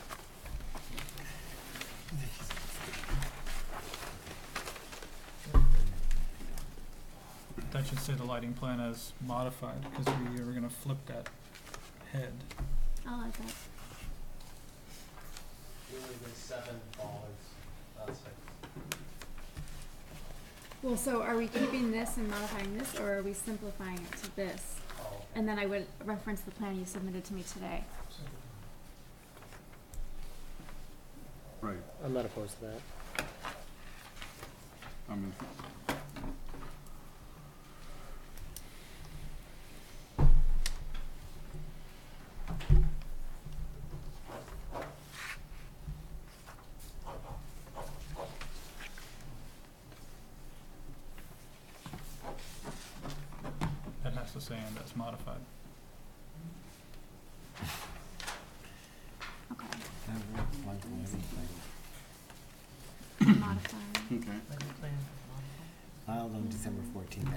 five on January twenty.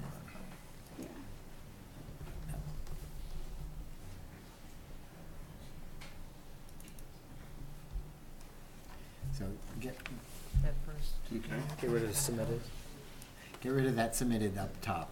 I think uh, the Well, 2000, I'm sorry, 2016 should be 2015 on the second sentence. Yeah. Uh, December two thousand um, fifteen. All right so, But he, the, we did get a revised lighting plan in our office today, which I forwarded to you, so it was submitted today, so I'd like to keep that. That's fine. Okay. Do you know, Jack, what the date of that plan is actually? So we submitted today and we modified it today. Is it dated today? It today? might have been undated. Okay. Well, so then we'll keep it this way. The applicant will comply with the lighting plan submitted on January twenty-fifth to the to the as part of its site plan review application. So you want to get rid of filed on December fourteenth, two thousand fifteen. The application. on December. I mean, that part's fortuitous. Yeah, that's just, that, that's just throwing thing, that's just making the sentence confusing. Right. So, so get rid of the filed on December fourteenth.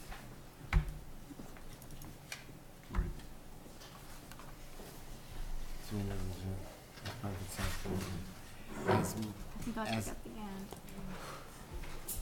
Comma. as modif, so then you need to say as modified by the CPDC.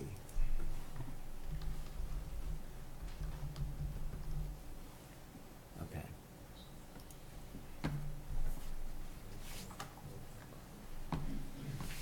And get rid of, Say.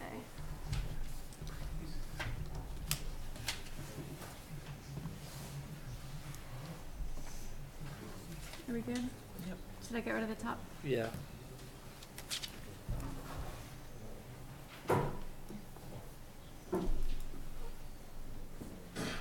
And the only question is, What's the question? so, so Ken, will, will you be submitting a, a, cor- if you will, corrected um, site plan so that there's an actual record of, of how it was modified? I didn't, I sent Ms. Mercier responses to the draft site plan with my recommended changes, but I can do it that way. Um, Sure, I can get it to you tomorrow, but I, I'd have to, I want to make sure I would get what you've got there, so I don't make a mistake and get us all messed up. I'd be much happier if you, we did it tonight, so we're done. I think it's, it's a. Can you, I don't know that you have the Oh, the ability plan. To redraw the plan tonight. Talking Oh, about I'm the sorry, plan. I'm sorry. Yes, Jack, you will, we will redraw hmm. redraw the plans for the decision. Okay, so you should put that in, in Yes. the second Yes, sentence. I'm sorry. The applicant shall, Absolutely. shall file Check. with the CPDC. So, a revised plan, so submit a revised It's actually called photometric. lighting plan. But, you know what? I'll change it up there. It's actually referred to this way. reflecting such modification. Do you want to say to be approved by Well, the this, town so planner? this is a finding, this is not a condition, so oh. maybe that should actually be below. Yeah, that's Yeah. right. That, that needs to go into the, into wherever you got it.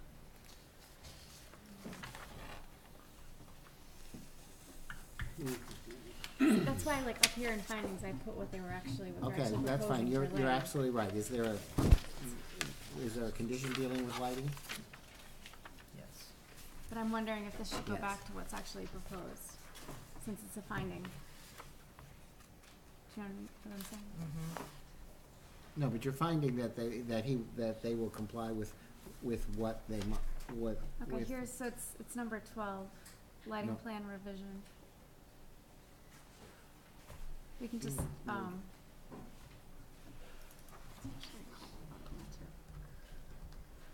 Hold on, slow down. Yeah. So, do we, we keeping it as both a finding and a condition? Can we just copy and paste it and put it down here? Well, the part about saying that they will submit a revised photometric plan, that belongs at That twelve. belongs in Okay. 12, yeah. So we get that out of the Good. findings. And we That can put- addresses the following, A, B, C, D, E, and then F is the modifications made at, by the CPDC at its hearing. Nick, can you clarify exactly what that modification was that you wanted earlier? Reorienting. It's really just reorienting. re- Fixture. Is it a pole mounted fixture? Yeah, it's the E-type pole-mounted fixture on the um, south end of the parking lot.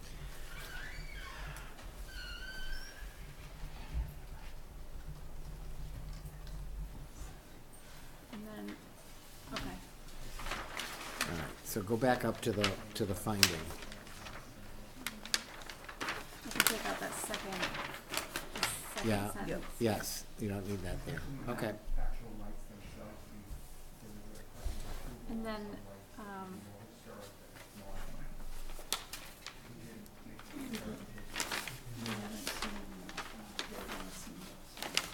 Okay. Mr. Blodgett said that there was a question of of ultimate approval, of the design of some lighting, but we're once again going to agree, so we don't have to go back anywhere, that we will do whatever design that the Historic District Commission wishes, because their taste in visuals has has been Right, I guess, I don't know whether. perfectly We fine. haven't submitted anything. I guess you have to submit something, I guess that's the problem, as we work along this, more on the historical side. That's, that's what it's on. And then we'll say yes. Didn't we, say- didn't we have Send something it as already about Okay, yep, absolutely. This, um, when you look at this wording right there, number eight, 'cause I'm not sure. The fence that I was talking about was actually along the rear property line, and then the one we discussed tonight was along the southern property line. So I just wanna make sure I have it, and, and the Both. northern property line, Both the south right. and the, nor- and the north, right? Mm-hmm. Along with the green screen. The six-foot wiggle zone that extends along the entire eastern boundary. I know. And portions All my of notes. the northern and lines to screen the rear parking from.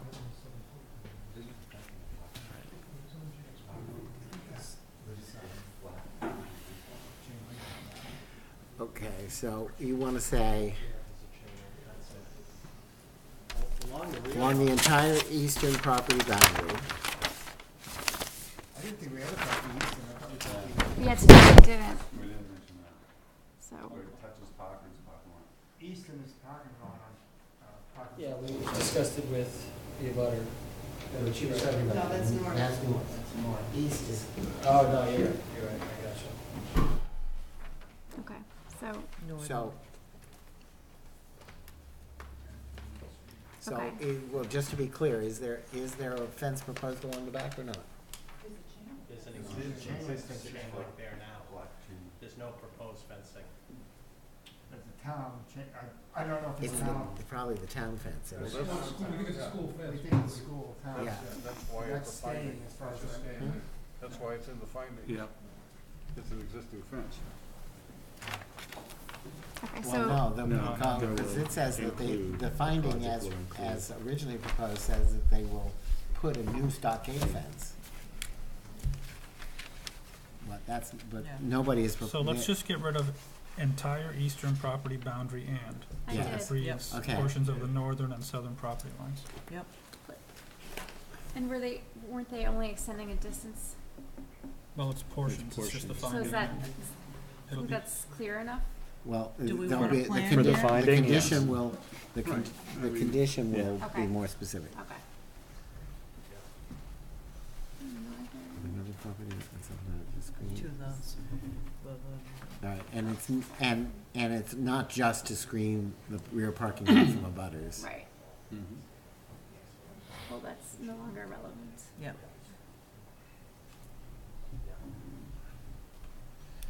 Including shade trees, okay. Julie, when you get that to a point, would you mind pulling up the landscaping plan with the fence shown, just so we have the north, south, west, and east correct? Hmm. I have a question in stockade. okay. I think it's a type of stockade, it's not. It's the, it's got the. One we shown. Yes, the one they showed.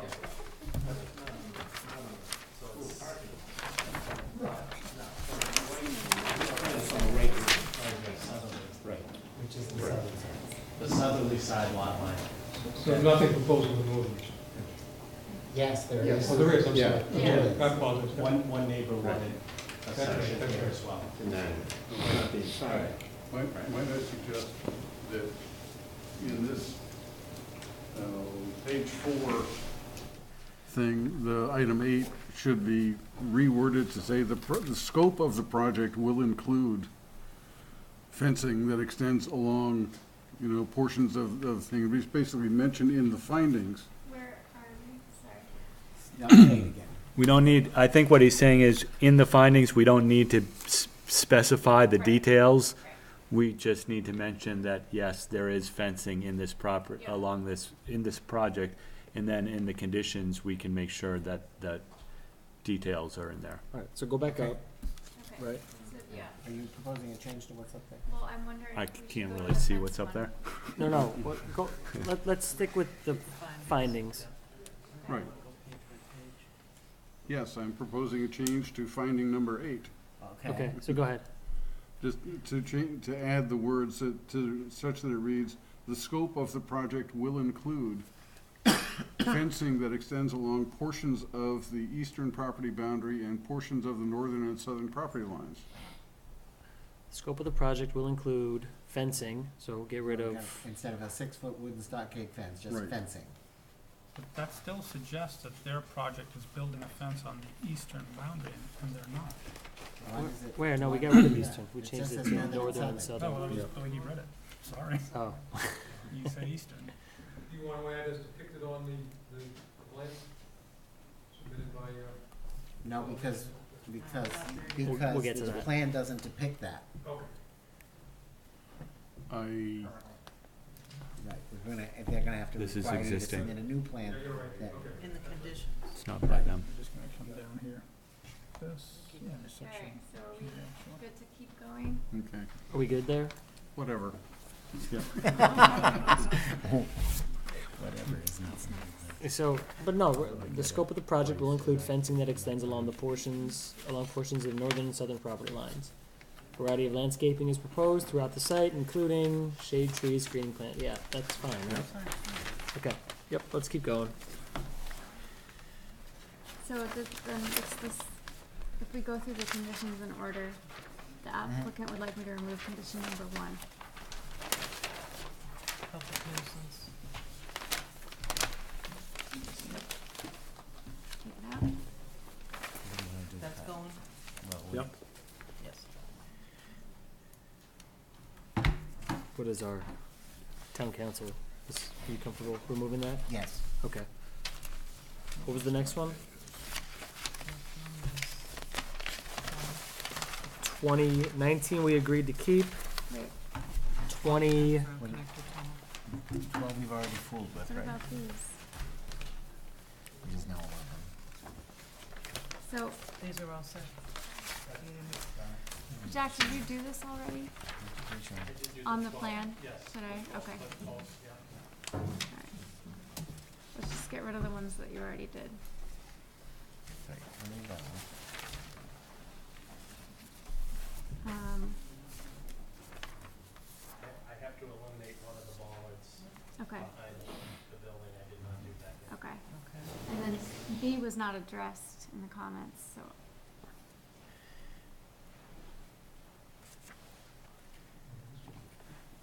Yeah, we just have one floodlight on the, I don't think it's a type C though. well, it's not. That's what we're saying, make it a type C. Make it a type C? A wall sconce with lighting type C. This is the old decision. oh, so you guys did a comparison of the old to the, have, okay, good. one floodlight on the back of the barn. And you wanna keep it a floodlight? Is that the security light? That's the security light we're talking about. Yeah, I don't think this is the f- security light. So there's two. oh. I think the only, the only mounted light on the back of the building is the emergency floodlight. And is that in the rear Yeah, if of you the go to barn? If you go to that photo, photometric plan, Actually, their schedule says zero quantity for For type C, C. right. Right, and this is requiring the them upper to add it left-hand part C. is the table. Is this the one you revised today, Jack? Yes. So D is the floodlight. So to the rear of the building, there's, there- there's no C at all. So we were suggesting you make D a type C to get rid of the floodlight. I think the floodlight is supposed to light the playground for But they said it's not meant to light the playground, it's for As a security. security light, I would think it needs to be a floodlight. I mean, it- It's a motion activated, isn't it, Jack? Yes. Okay. I mean, it's completely screened from everything. So, So B goes? Take this B.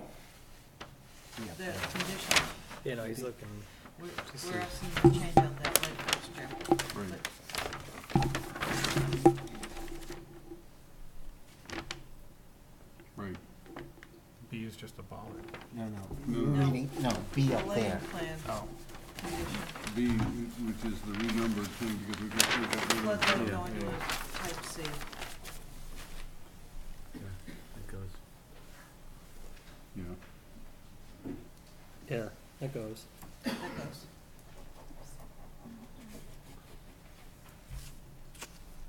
Okay.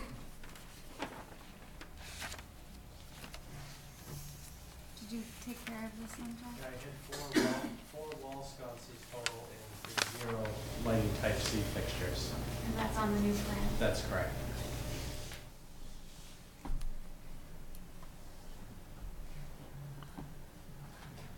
And did you add the lights to the, the sign lights to the plan?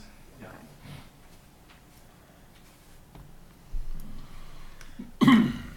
Alright, And the This- transformer item goes away? yep, it's not required. Here's the one about the fence.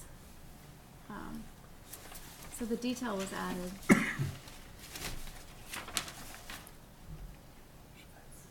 at the rear of the property. Right. Yeah, I know, that's my At mistake. the property boundary. Okay.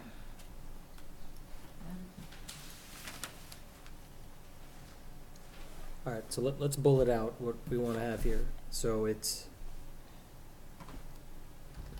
they did, so you guys did submit a design of what you wanted to put in, right? Yes. Okay.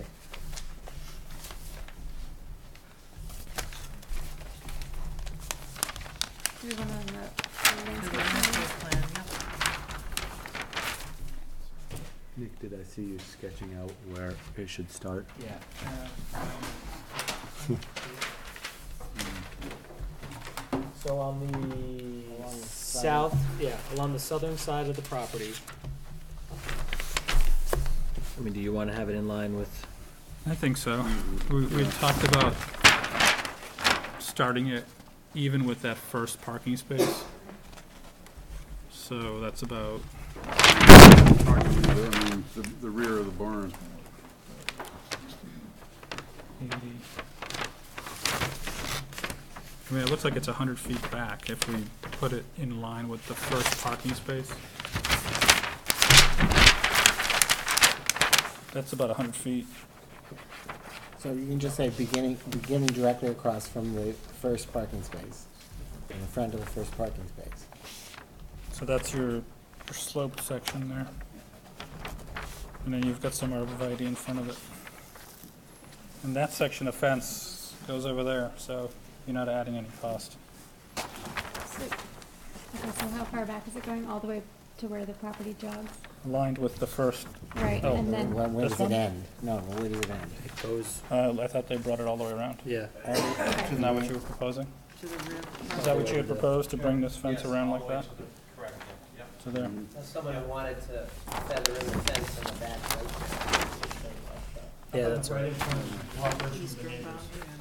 Yeah, I, I think that's all okay, but they do have to see where the property lines are too, so, you know, if it's just slightly off, I think we need to live with that, because they can't, I don't think they should be putting the fence on other properties and stuff, so. Within reason, I think it should be feathered No, in. but you, what, what they were talking about was getting rid of the existing fence that the neighbor has on, and Coordinate with It's the fine, Coordinate. just coordinate it with the neighbor's fence. Well, I don't care. we- We're happy to have that, but it's also, um, if, if it leaves an ambiguity, probably doesn't need to be in the order, It doesn't mean we're not gonna coordinate with the neighbor, because of course, of course it will. Uh, if but if it causes a problem in terms of uh, clarity, then I suggest putting it in the active order. But that's not gonna change the reality. Okay.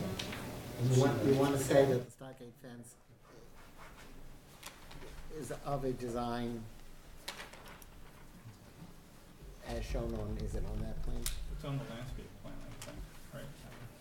On the As landscape shown on the landscape plan. Of a, no, As of a depicted in detail. Yeah, no, I remember seeing a They, detail. they have a detail on the Yes. plan they provided today. Okay. They added a detail.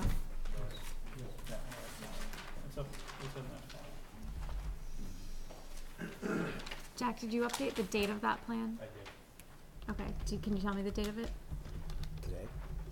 Just put Yeah, if you zoom XXY in on way. the- On the plan itself, that if you go to that landscaping plan, uh, on the bottom right-hand portion of the plan, uh, go down one sheet.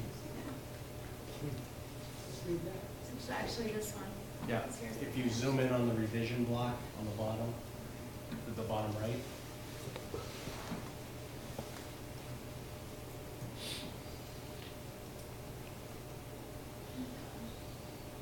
I just me- that up.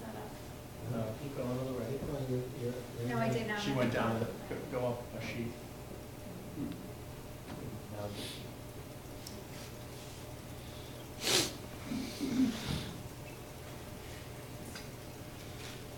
There we go, one twenty-three sixteen.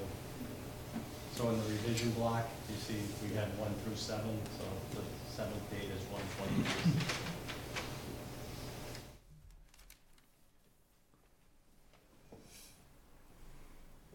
do we want to add the detail about kind of the slope beginning? Transition. You call it scallop, so it's board. I don't know what they call it. Um, Before the six foot cutting, I don't even know if they do that. Top of the first panel. Have the architect speak, we're paying them to here. So I'm gonna put this. Takes a village. Takes a village, yep. Shut them down.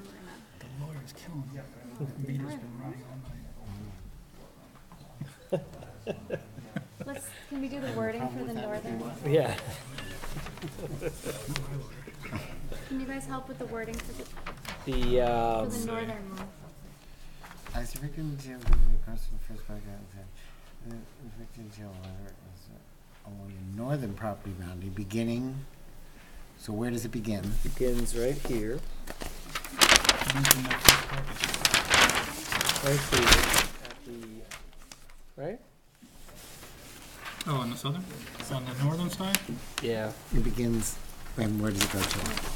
Uh, it's supposed to go to the barn, first part of the barn. I didn't think, it- you think it was going beyond that? I thought she wanted to shield the, um, Oh. oh no, it's the playground, I'm sorry. That is, you're right.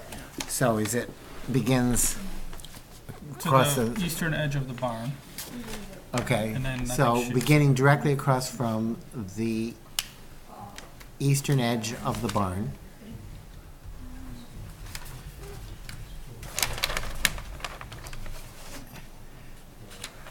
Barn, Extending and, to- ex- and extending to, Extending east. oh, you need to end up above too. Uh, to where, to this jog, or? Yeah. Right.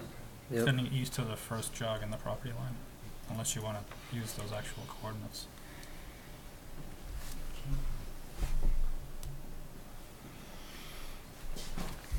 Um, To the bump out. extending to the Extending- jog in the property Just line. east, extending east to the jog in the property line. I think it's clear. Yep. East to the jog in the property line? Yes. And Jog, there's some like jog. arborvitae Is infill that the right word? Jog. west of, Hmm? west of that, there's some arborvitae, right, to screen this walkway system. That's what Yeah, she's she wanted a green screen. Okay, but we're, we're only on fencing in this program, but there's gonna be a screening someplace else, right? Sure. Is that all right? Did we account for, No, not yet, you have Okay. to, Vegetated so, buffer. n- so only We're A gonna come back needs, to that. only A needs the scallop, right? B Correct. does not need the Correct. scallop. That's right. So, um, so a second sentence to A should say,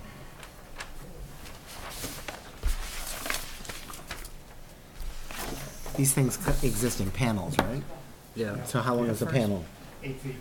The first eight-foot panel shall, um, um, Transitioning from pro- three to provide a four feet, transition from three to four feet in height to six feet.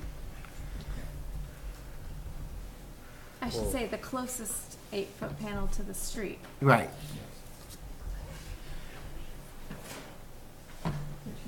That's awfully specific. Does that put them in a? Why is it? Transition I from. would just say panel, because I think they may come in six as well. The closest fence, Right. pe- fencing, the closest fencing panel? Yeah. Yep.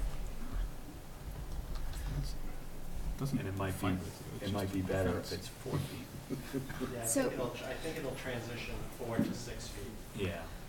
They're not three to six feet. Yeah. And that, in a six-foot run, it would be four to six feet. Right. Okay. Shall transition from four to six feet. Okay. In height. In height, sure. No, we're going to- Everybody's. Ten years from now, we won't remember. Everybody's got an opinion. Tomorrow we will. Going to the fence. Are you kidding? Okay. Okay, so are we putting anything about the green screen? Not, in- Not not in the here. fences section. there yet. I know, I just want to make sure so it can get forgotten. Yep. Yes, no. we are gonna do it. Okay. Yep. All It's just not moving there. along. Um, So we're at number twenty? Uh, oh no, the tran, the- did you already do the transformer? the underground connector tunnel. Underground connector. There's connector. an empty C up here also. Wait, going back to the Oh, transformer is there? section, Okay. Yeah, it's gone. is it gone? Yeah. Okay.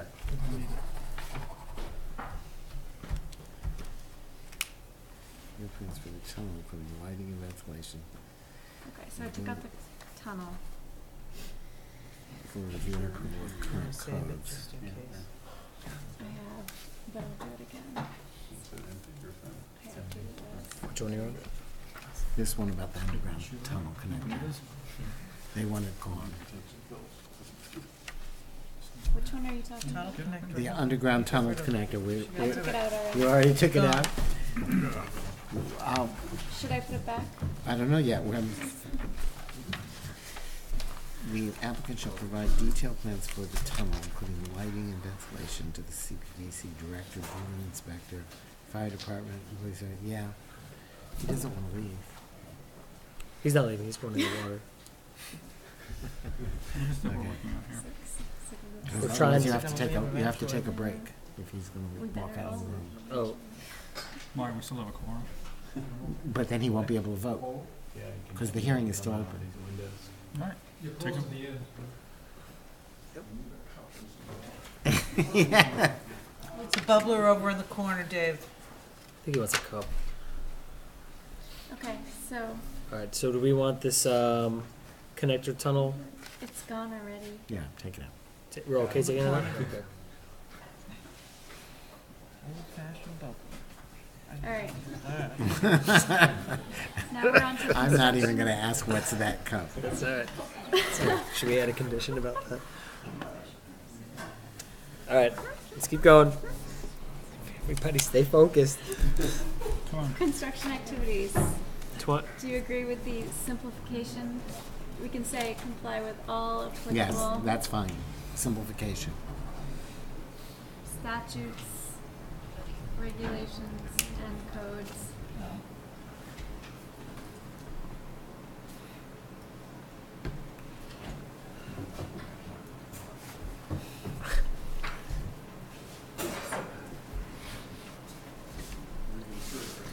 Yeah, that's fine.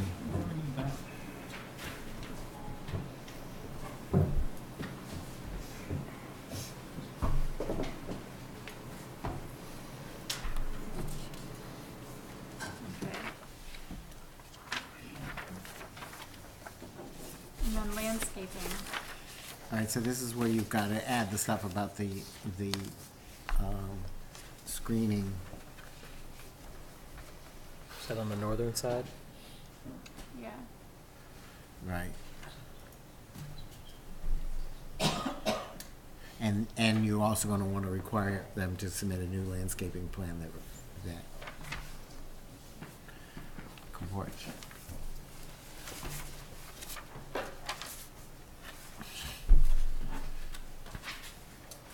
Okay, So should I, s- let's see, we'll start with the applicant shall submit.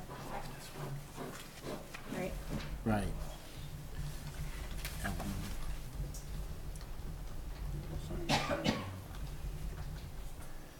Plan, reflecting, reflecting all, all modifications made by the CPDC at its hearing.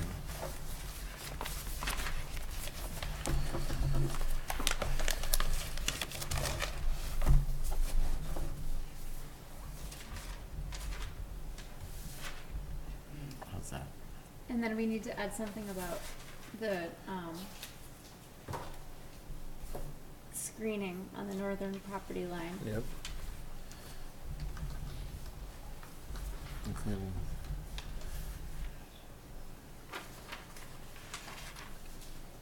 What was it exactly that she wanted?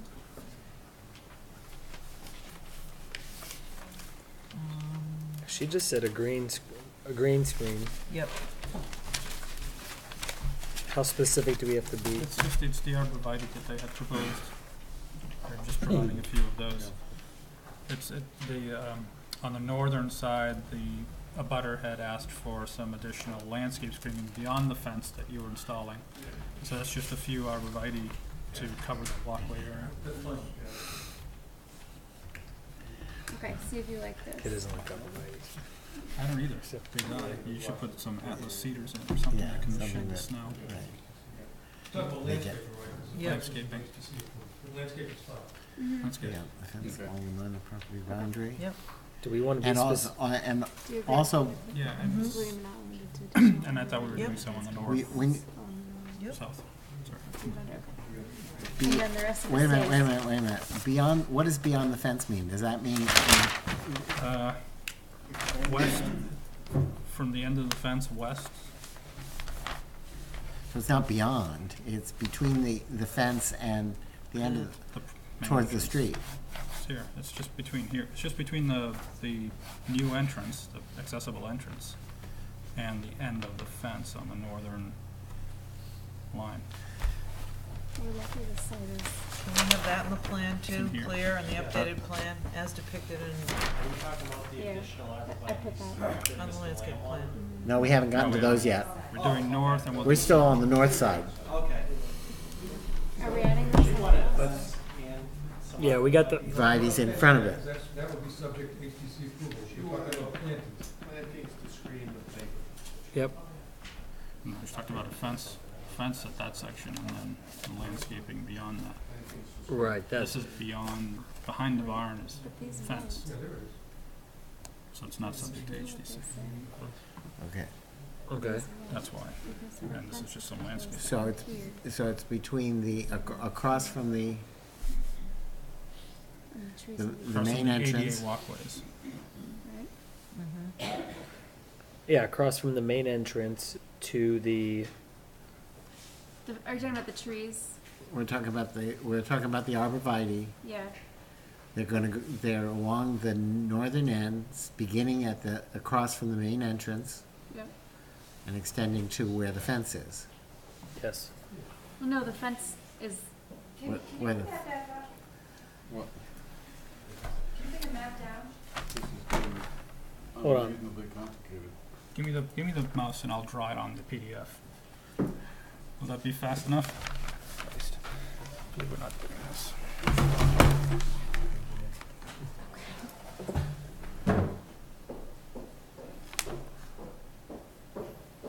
Or not. just. I thought the fence was supposed to end. Re- Oh, eastern- really? Yeah. What's wrong with you people? I Never didn't get mind. anything done. Your Technology is, I just wanna clarify that the fence was going to, like, end here. No, go the up, fence is, No. is, the fence is from the easternmost edge of the barn. Which is this. No. No. the- no, Oh, my bad, The okay. barn, there you go. I'm tired. So Okay, there. here- It's just a short section, Okay, yeah. and Goes then from up there, and then she wants plantings along here. right. Okay, down to, Down, down to the, crossing from the main entrance. so. got it. The main entrances are the ADA uh, compliant. Wait, I Well, just hold on, want No, let's, let's get let's, this on let's paper get this. first. along the northern property boundary until the easternmost edge of the Main House? house. Yeah. okay. Un- Until across from the easternmost edge.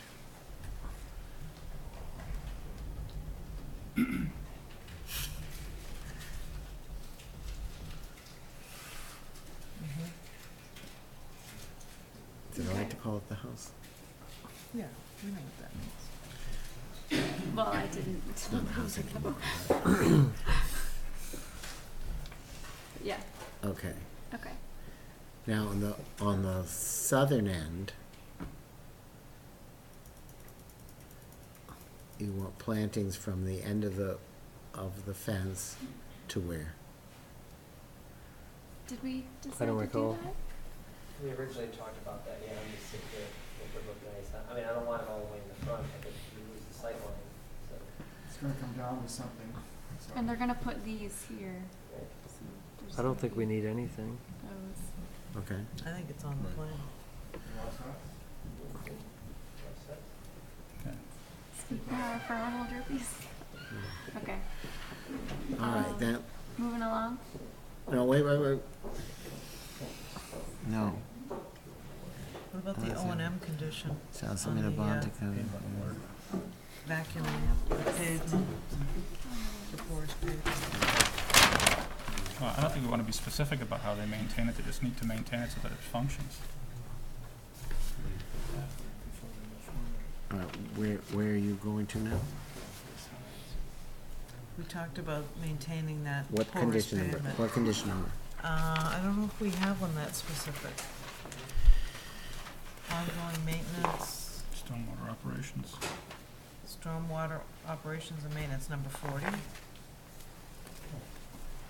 No. So where is the, where is the pavement described, the porous pavement?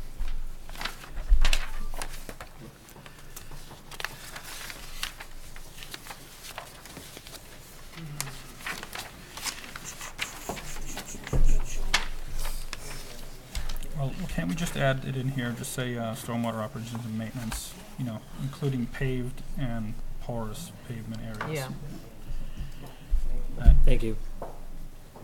I Yeah, don't that think it only- needs to say anything more than that, they need to go down on it. That just says that they have to. Oh, one second. That just says that they have to submit a report. It doesn't say they have to actually Yeah. maintain it. They're required to maintain it. Well, that's By where we're public- looking. Where does that say that? All codes and there's actually probably something s- stronger than what CPDC owns. Okay, so the, the code somewhere. I don't even see where it says that they can use porous pavement. Where, I thought you said you had to submit something to the engineer, right here. Compliance review. Stormwater operations, maintenance plan shall be submitted for review and approval. Plan shall be developed for construction and what post-construction. number, what number are you at? This is, uh, Forty? no, it, it was sixteen after the ADA, I mean, this is supposed to be Stormwater, finding. and it shall be submitted for review and approval. Okay. Stormwater operation and maintenance plan, on Page six, including, s- uh, including a plan for page six, the other way, maintenance of the porous pavement. number sixteen. It's not sixteen anymore, but Oh. it's Yeah, Uh, It's redundant. it's Fourteen. fourteen. So, operation and maintenance plan, including a plan for maintenance of, Too many words. It's redundant because the, Just say for all areas, including the porous pavement. okay. How's that? Sure.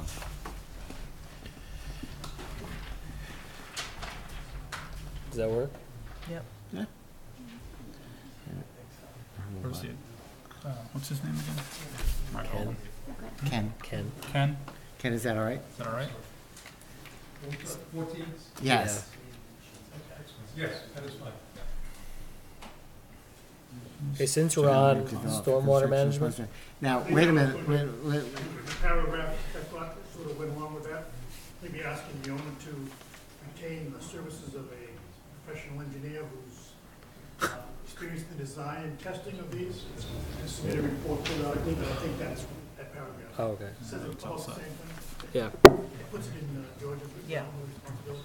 Okay, but all that says is that, that they have to s- um, submit a plan to be reviewed and approved. It doesn't actually require them to comply with the plan. Help me, there's gotta be a regulation that makes you The require. engineering department requires annual reports to be submitted by like Right. January fifteenth. It- Yep. And that's in there too, but that annual report does not, is not the same thing as As compliance. Showing, showing that conformity with the operation and Well, maintenance plan. let's, well, let's put it in. Okay. So where was the annual report there? Well, wouldn't, the engineering department wouldn't approve it if they weren't complying with it. I mean, It's already constructed. No, that's not true. They approve, they, they approve it before, they approve it at the beginning, so. And then What's that- the uh, penalty for submitting a report that doesn't comply?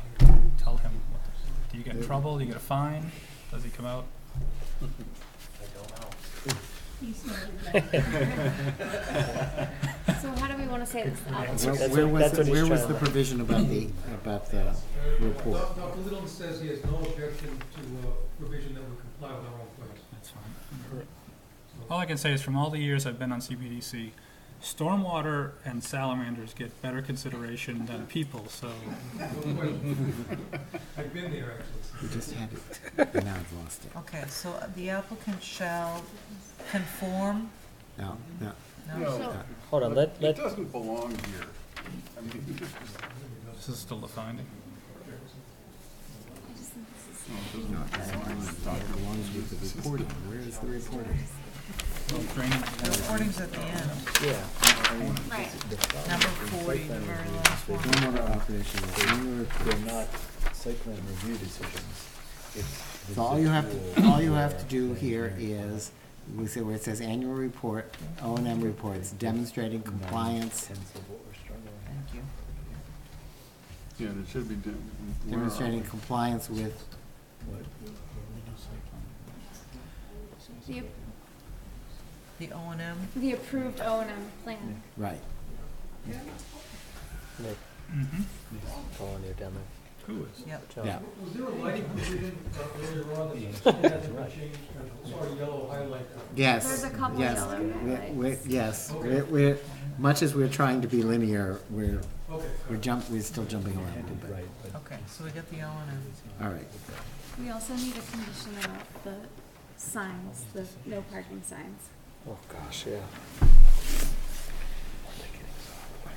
Do we have anything about the signs now? I don't know. There is a signage, um, there's a mention of signage. Where is it?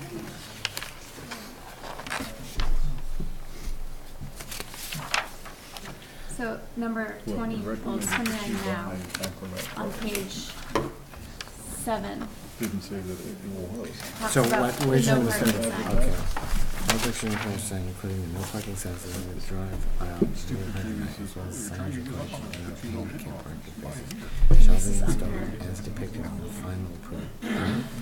Um, I think the agreement was that the, the, that the, the, the uh, CPDC and the HDC would abide by what the, the chief of police requires, as I recall. After we talk to him.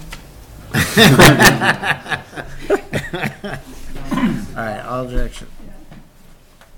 Yeah, we're trying to Okay. avoid another appearance. Right. No, no, we we got it, we got it. we understand. Including the no parking Trying to signs get out along the of here by- drive aisle. before and midnight. rear parking lot. Have to finish it today. By definition, that's before midnight. I still think we should, we should say something in here about minimizing the signs and, and making them less, uh, Yes. I don't know, less intrusive or less industrial. Uh, Sim- the simpler the sign, the better, just want to put them on the fence, avoid the poles. Right, so you don't want to say that it's installed as depicted, because that's not, No. right. So what you want to say is, um, We should start by saying something about the police chief Okay, determination. okay.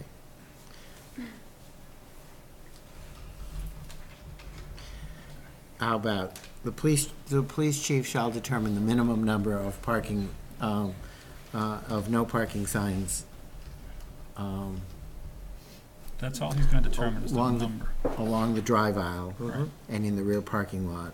Right. Okay, how And about just say that? that the, the design of, the style of the sign shall be compatible with the, I don't know, historic nature of the structure and minimal, and minimum in That's scope or probably true something. with no parking signs, but it's probably not true with the handicap. No, the handicap. He has to comply with code for that, so I don't, I don't know worry about those. It's just, Okay. And we need to say something about both commissions agreeing to Okay. letting Um, the applicant install them as the police chief requires. Now, we're just, so far, we've just said the police chief shall determine the minimum number of no And that parking shouldn't be signs along minimum, it should just be the number. the number, you're right. The number of par- no parking signs along the drive and parking lot.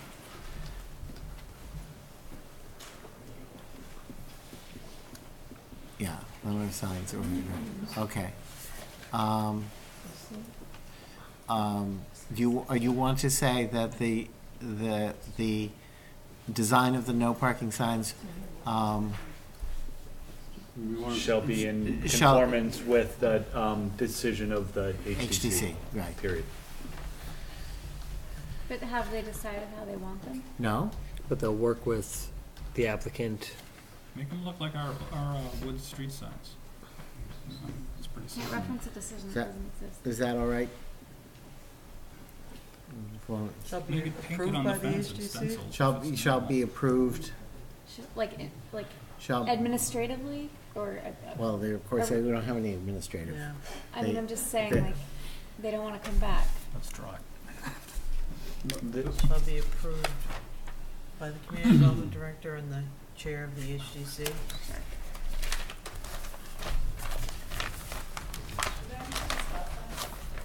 No, stop signs are. Now, are we, They're are you all gonna be all right with that? Just you working with Jean, we'll work it out? Yeah, I, I still have a problem with minimum, because. We took it out. We took out minimum, We took out minimum. They took out minimum. so it says determine the number. The Yep. police Now, chief, If he's got one every twenty feet, and it's on private land, and they don't really need to have them every twenty feet, we can get away with three instead of five. How about an acceptable number? And doesn't the design have to be subject to the police chief too? We don't think he cares that it be a pole, but, you know, we're not gonna talk to police chief if he says, I don't want it on the fence. You can't. I think I need to I think the fence is actually kind. Please tell me you're joking. Well, if, if, the- if the, the, the police chief doesn't have Well, it's a a different chief. say, tr- honestly, He'll recommend the it. police chief really doesn't have a say jurisdictionally of where no parking signs go on private property. Let's, let's start there. All we care about So, is that they're not he, we're asking his opinion of how many signs we think he, he would advise putting up there. So the police Should we chief say shall provide- recommend. Jurisdictional. shall recommend, It's a, re- it's purely a recommendation, There it is. right? I, I Now I just, earn Okay, no, that's So- fine. All, all we care about is that they document on the and street. then shall be approved by the Yeah. CPU and the chair of the Yep. historic district He commission. doesn't care about the design. with all deference to the police chief. Even if he does, he doesn't have any Okay, say. so then, Yeah. The signs, I should okay. take this out. I would just give, So you say, all, yes, take that out. The rest of it can stay though. Yep. Every parking space shall be installed as depicted on the file, yes. Is that all right? Sure. Yep. Ken, you good with that? And I'll hold the district commission a little bit. No, you will not poll them. I'll get their input. Stack Now, You're gonna work with Julie. You, Okay, I'll do it.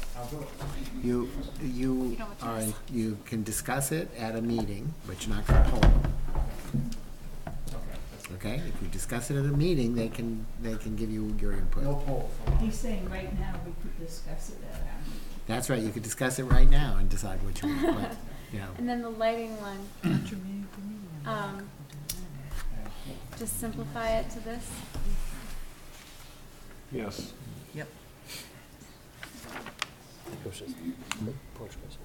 Yep. The reason I'm here. Yes. Yes. It's not so bad. Oh. So it's gonna I'm pretty nice. turns off after dark.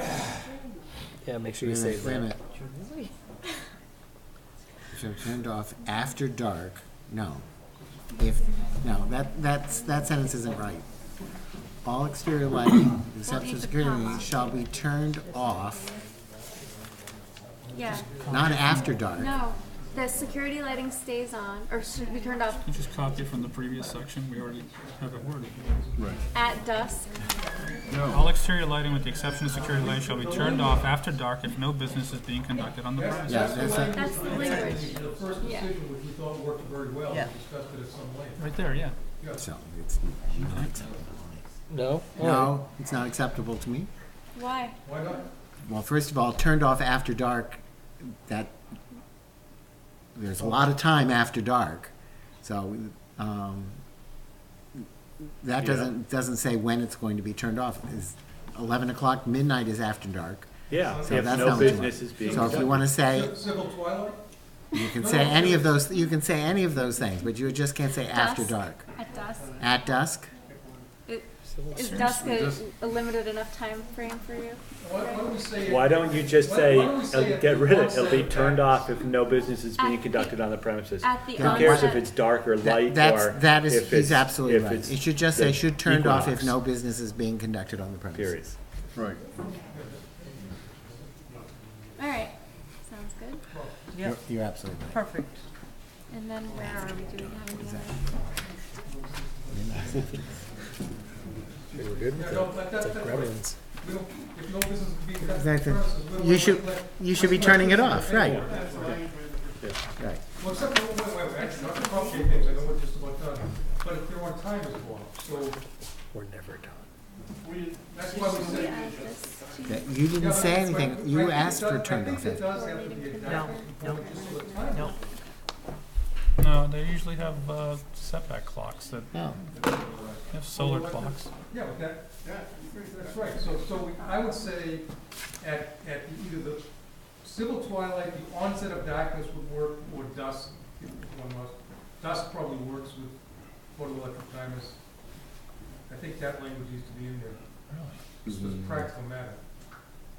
So that some, you know, so somebody doesn't, you forget to turn off the switches, because if there are timers, they're gonna be shut off when it starts to get dark. So should, So shall be what? turned off at dusk. At dusk, I think that would, at dusk, yeah, if no business is being conducted on the premises. No, except if business is being conducted on the premises. I don't mean if no, you mean except if. You mean except One if, second, let's, um, not if no, but except if. How about unless? Yeah, that's fine too, unless is good. Yep. So it should be turned off in dusk unless business is being conducted. Yes, yes, correct. okay. Virginia? Are there any, um, is there any lighting, uh, to preclude vandalism? Security lights. security That's lighting. security The lighting. security lights will take care of it? Right. That's already in there. Okay, the next one's landscaping.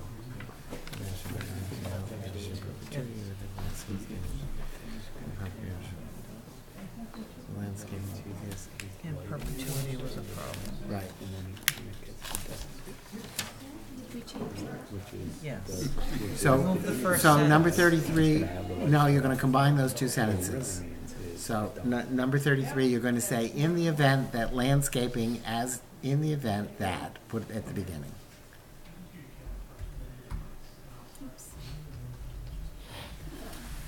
That, that. Landscaping as depicted on the approved plan. Now you've got all that there. Yeah. Yeah. All right, then get rid of shall be maintained in a healthy condition in perpetuity. Go all the way down to is damaged. Is damaged or, or destroyed. Or otherwise, Or otherwise destroyed. yeah. And then we're taking out the snow removal, right? Right, you don't need otherwise, damaged or destroyed. Take out the otherwise. yeah.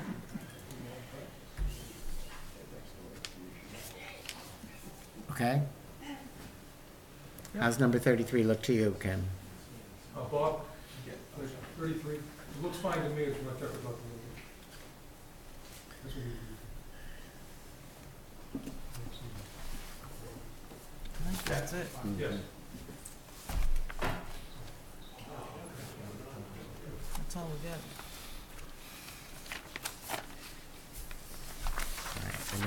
Anything else that we missed?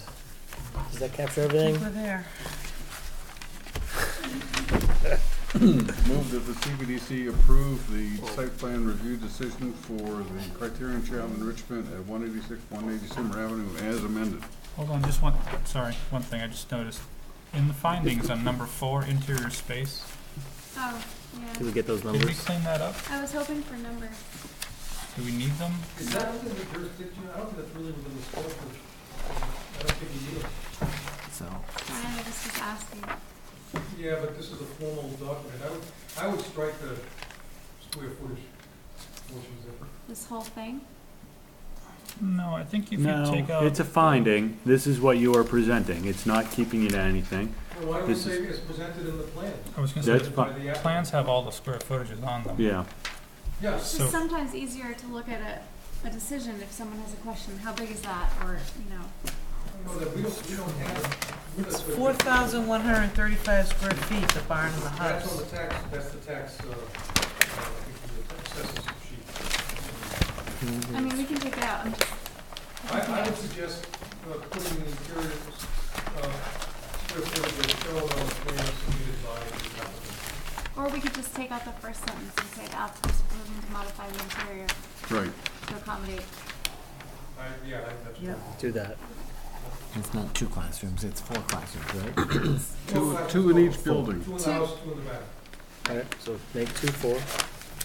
No, no, applicant's No. proposing to modify the interior of the house. And two, For would- two. in that- Two in the Right, we're on to accommodate two in addition, two and two, so that's right. Alright. Two And then, additional. uh, there was I know. another thing I thought I said. All right. Still have four classrooms.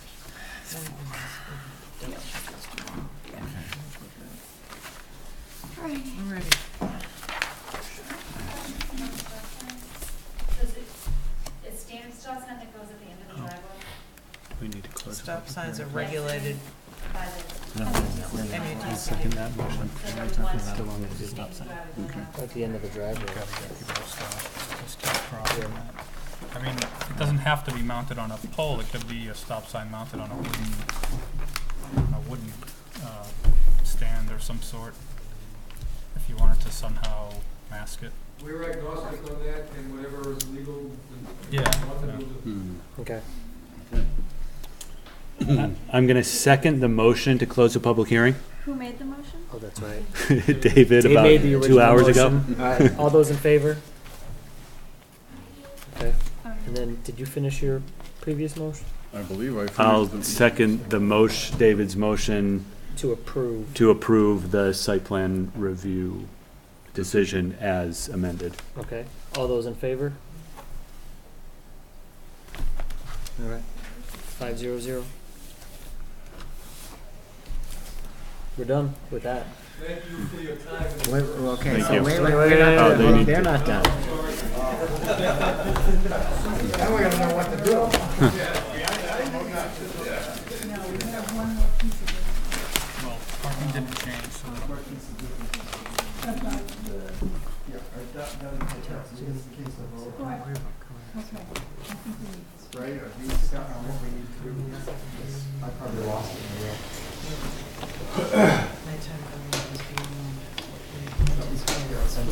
parking didn't change, that would have been the So- biggest. Four an hour past.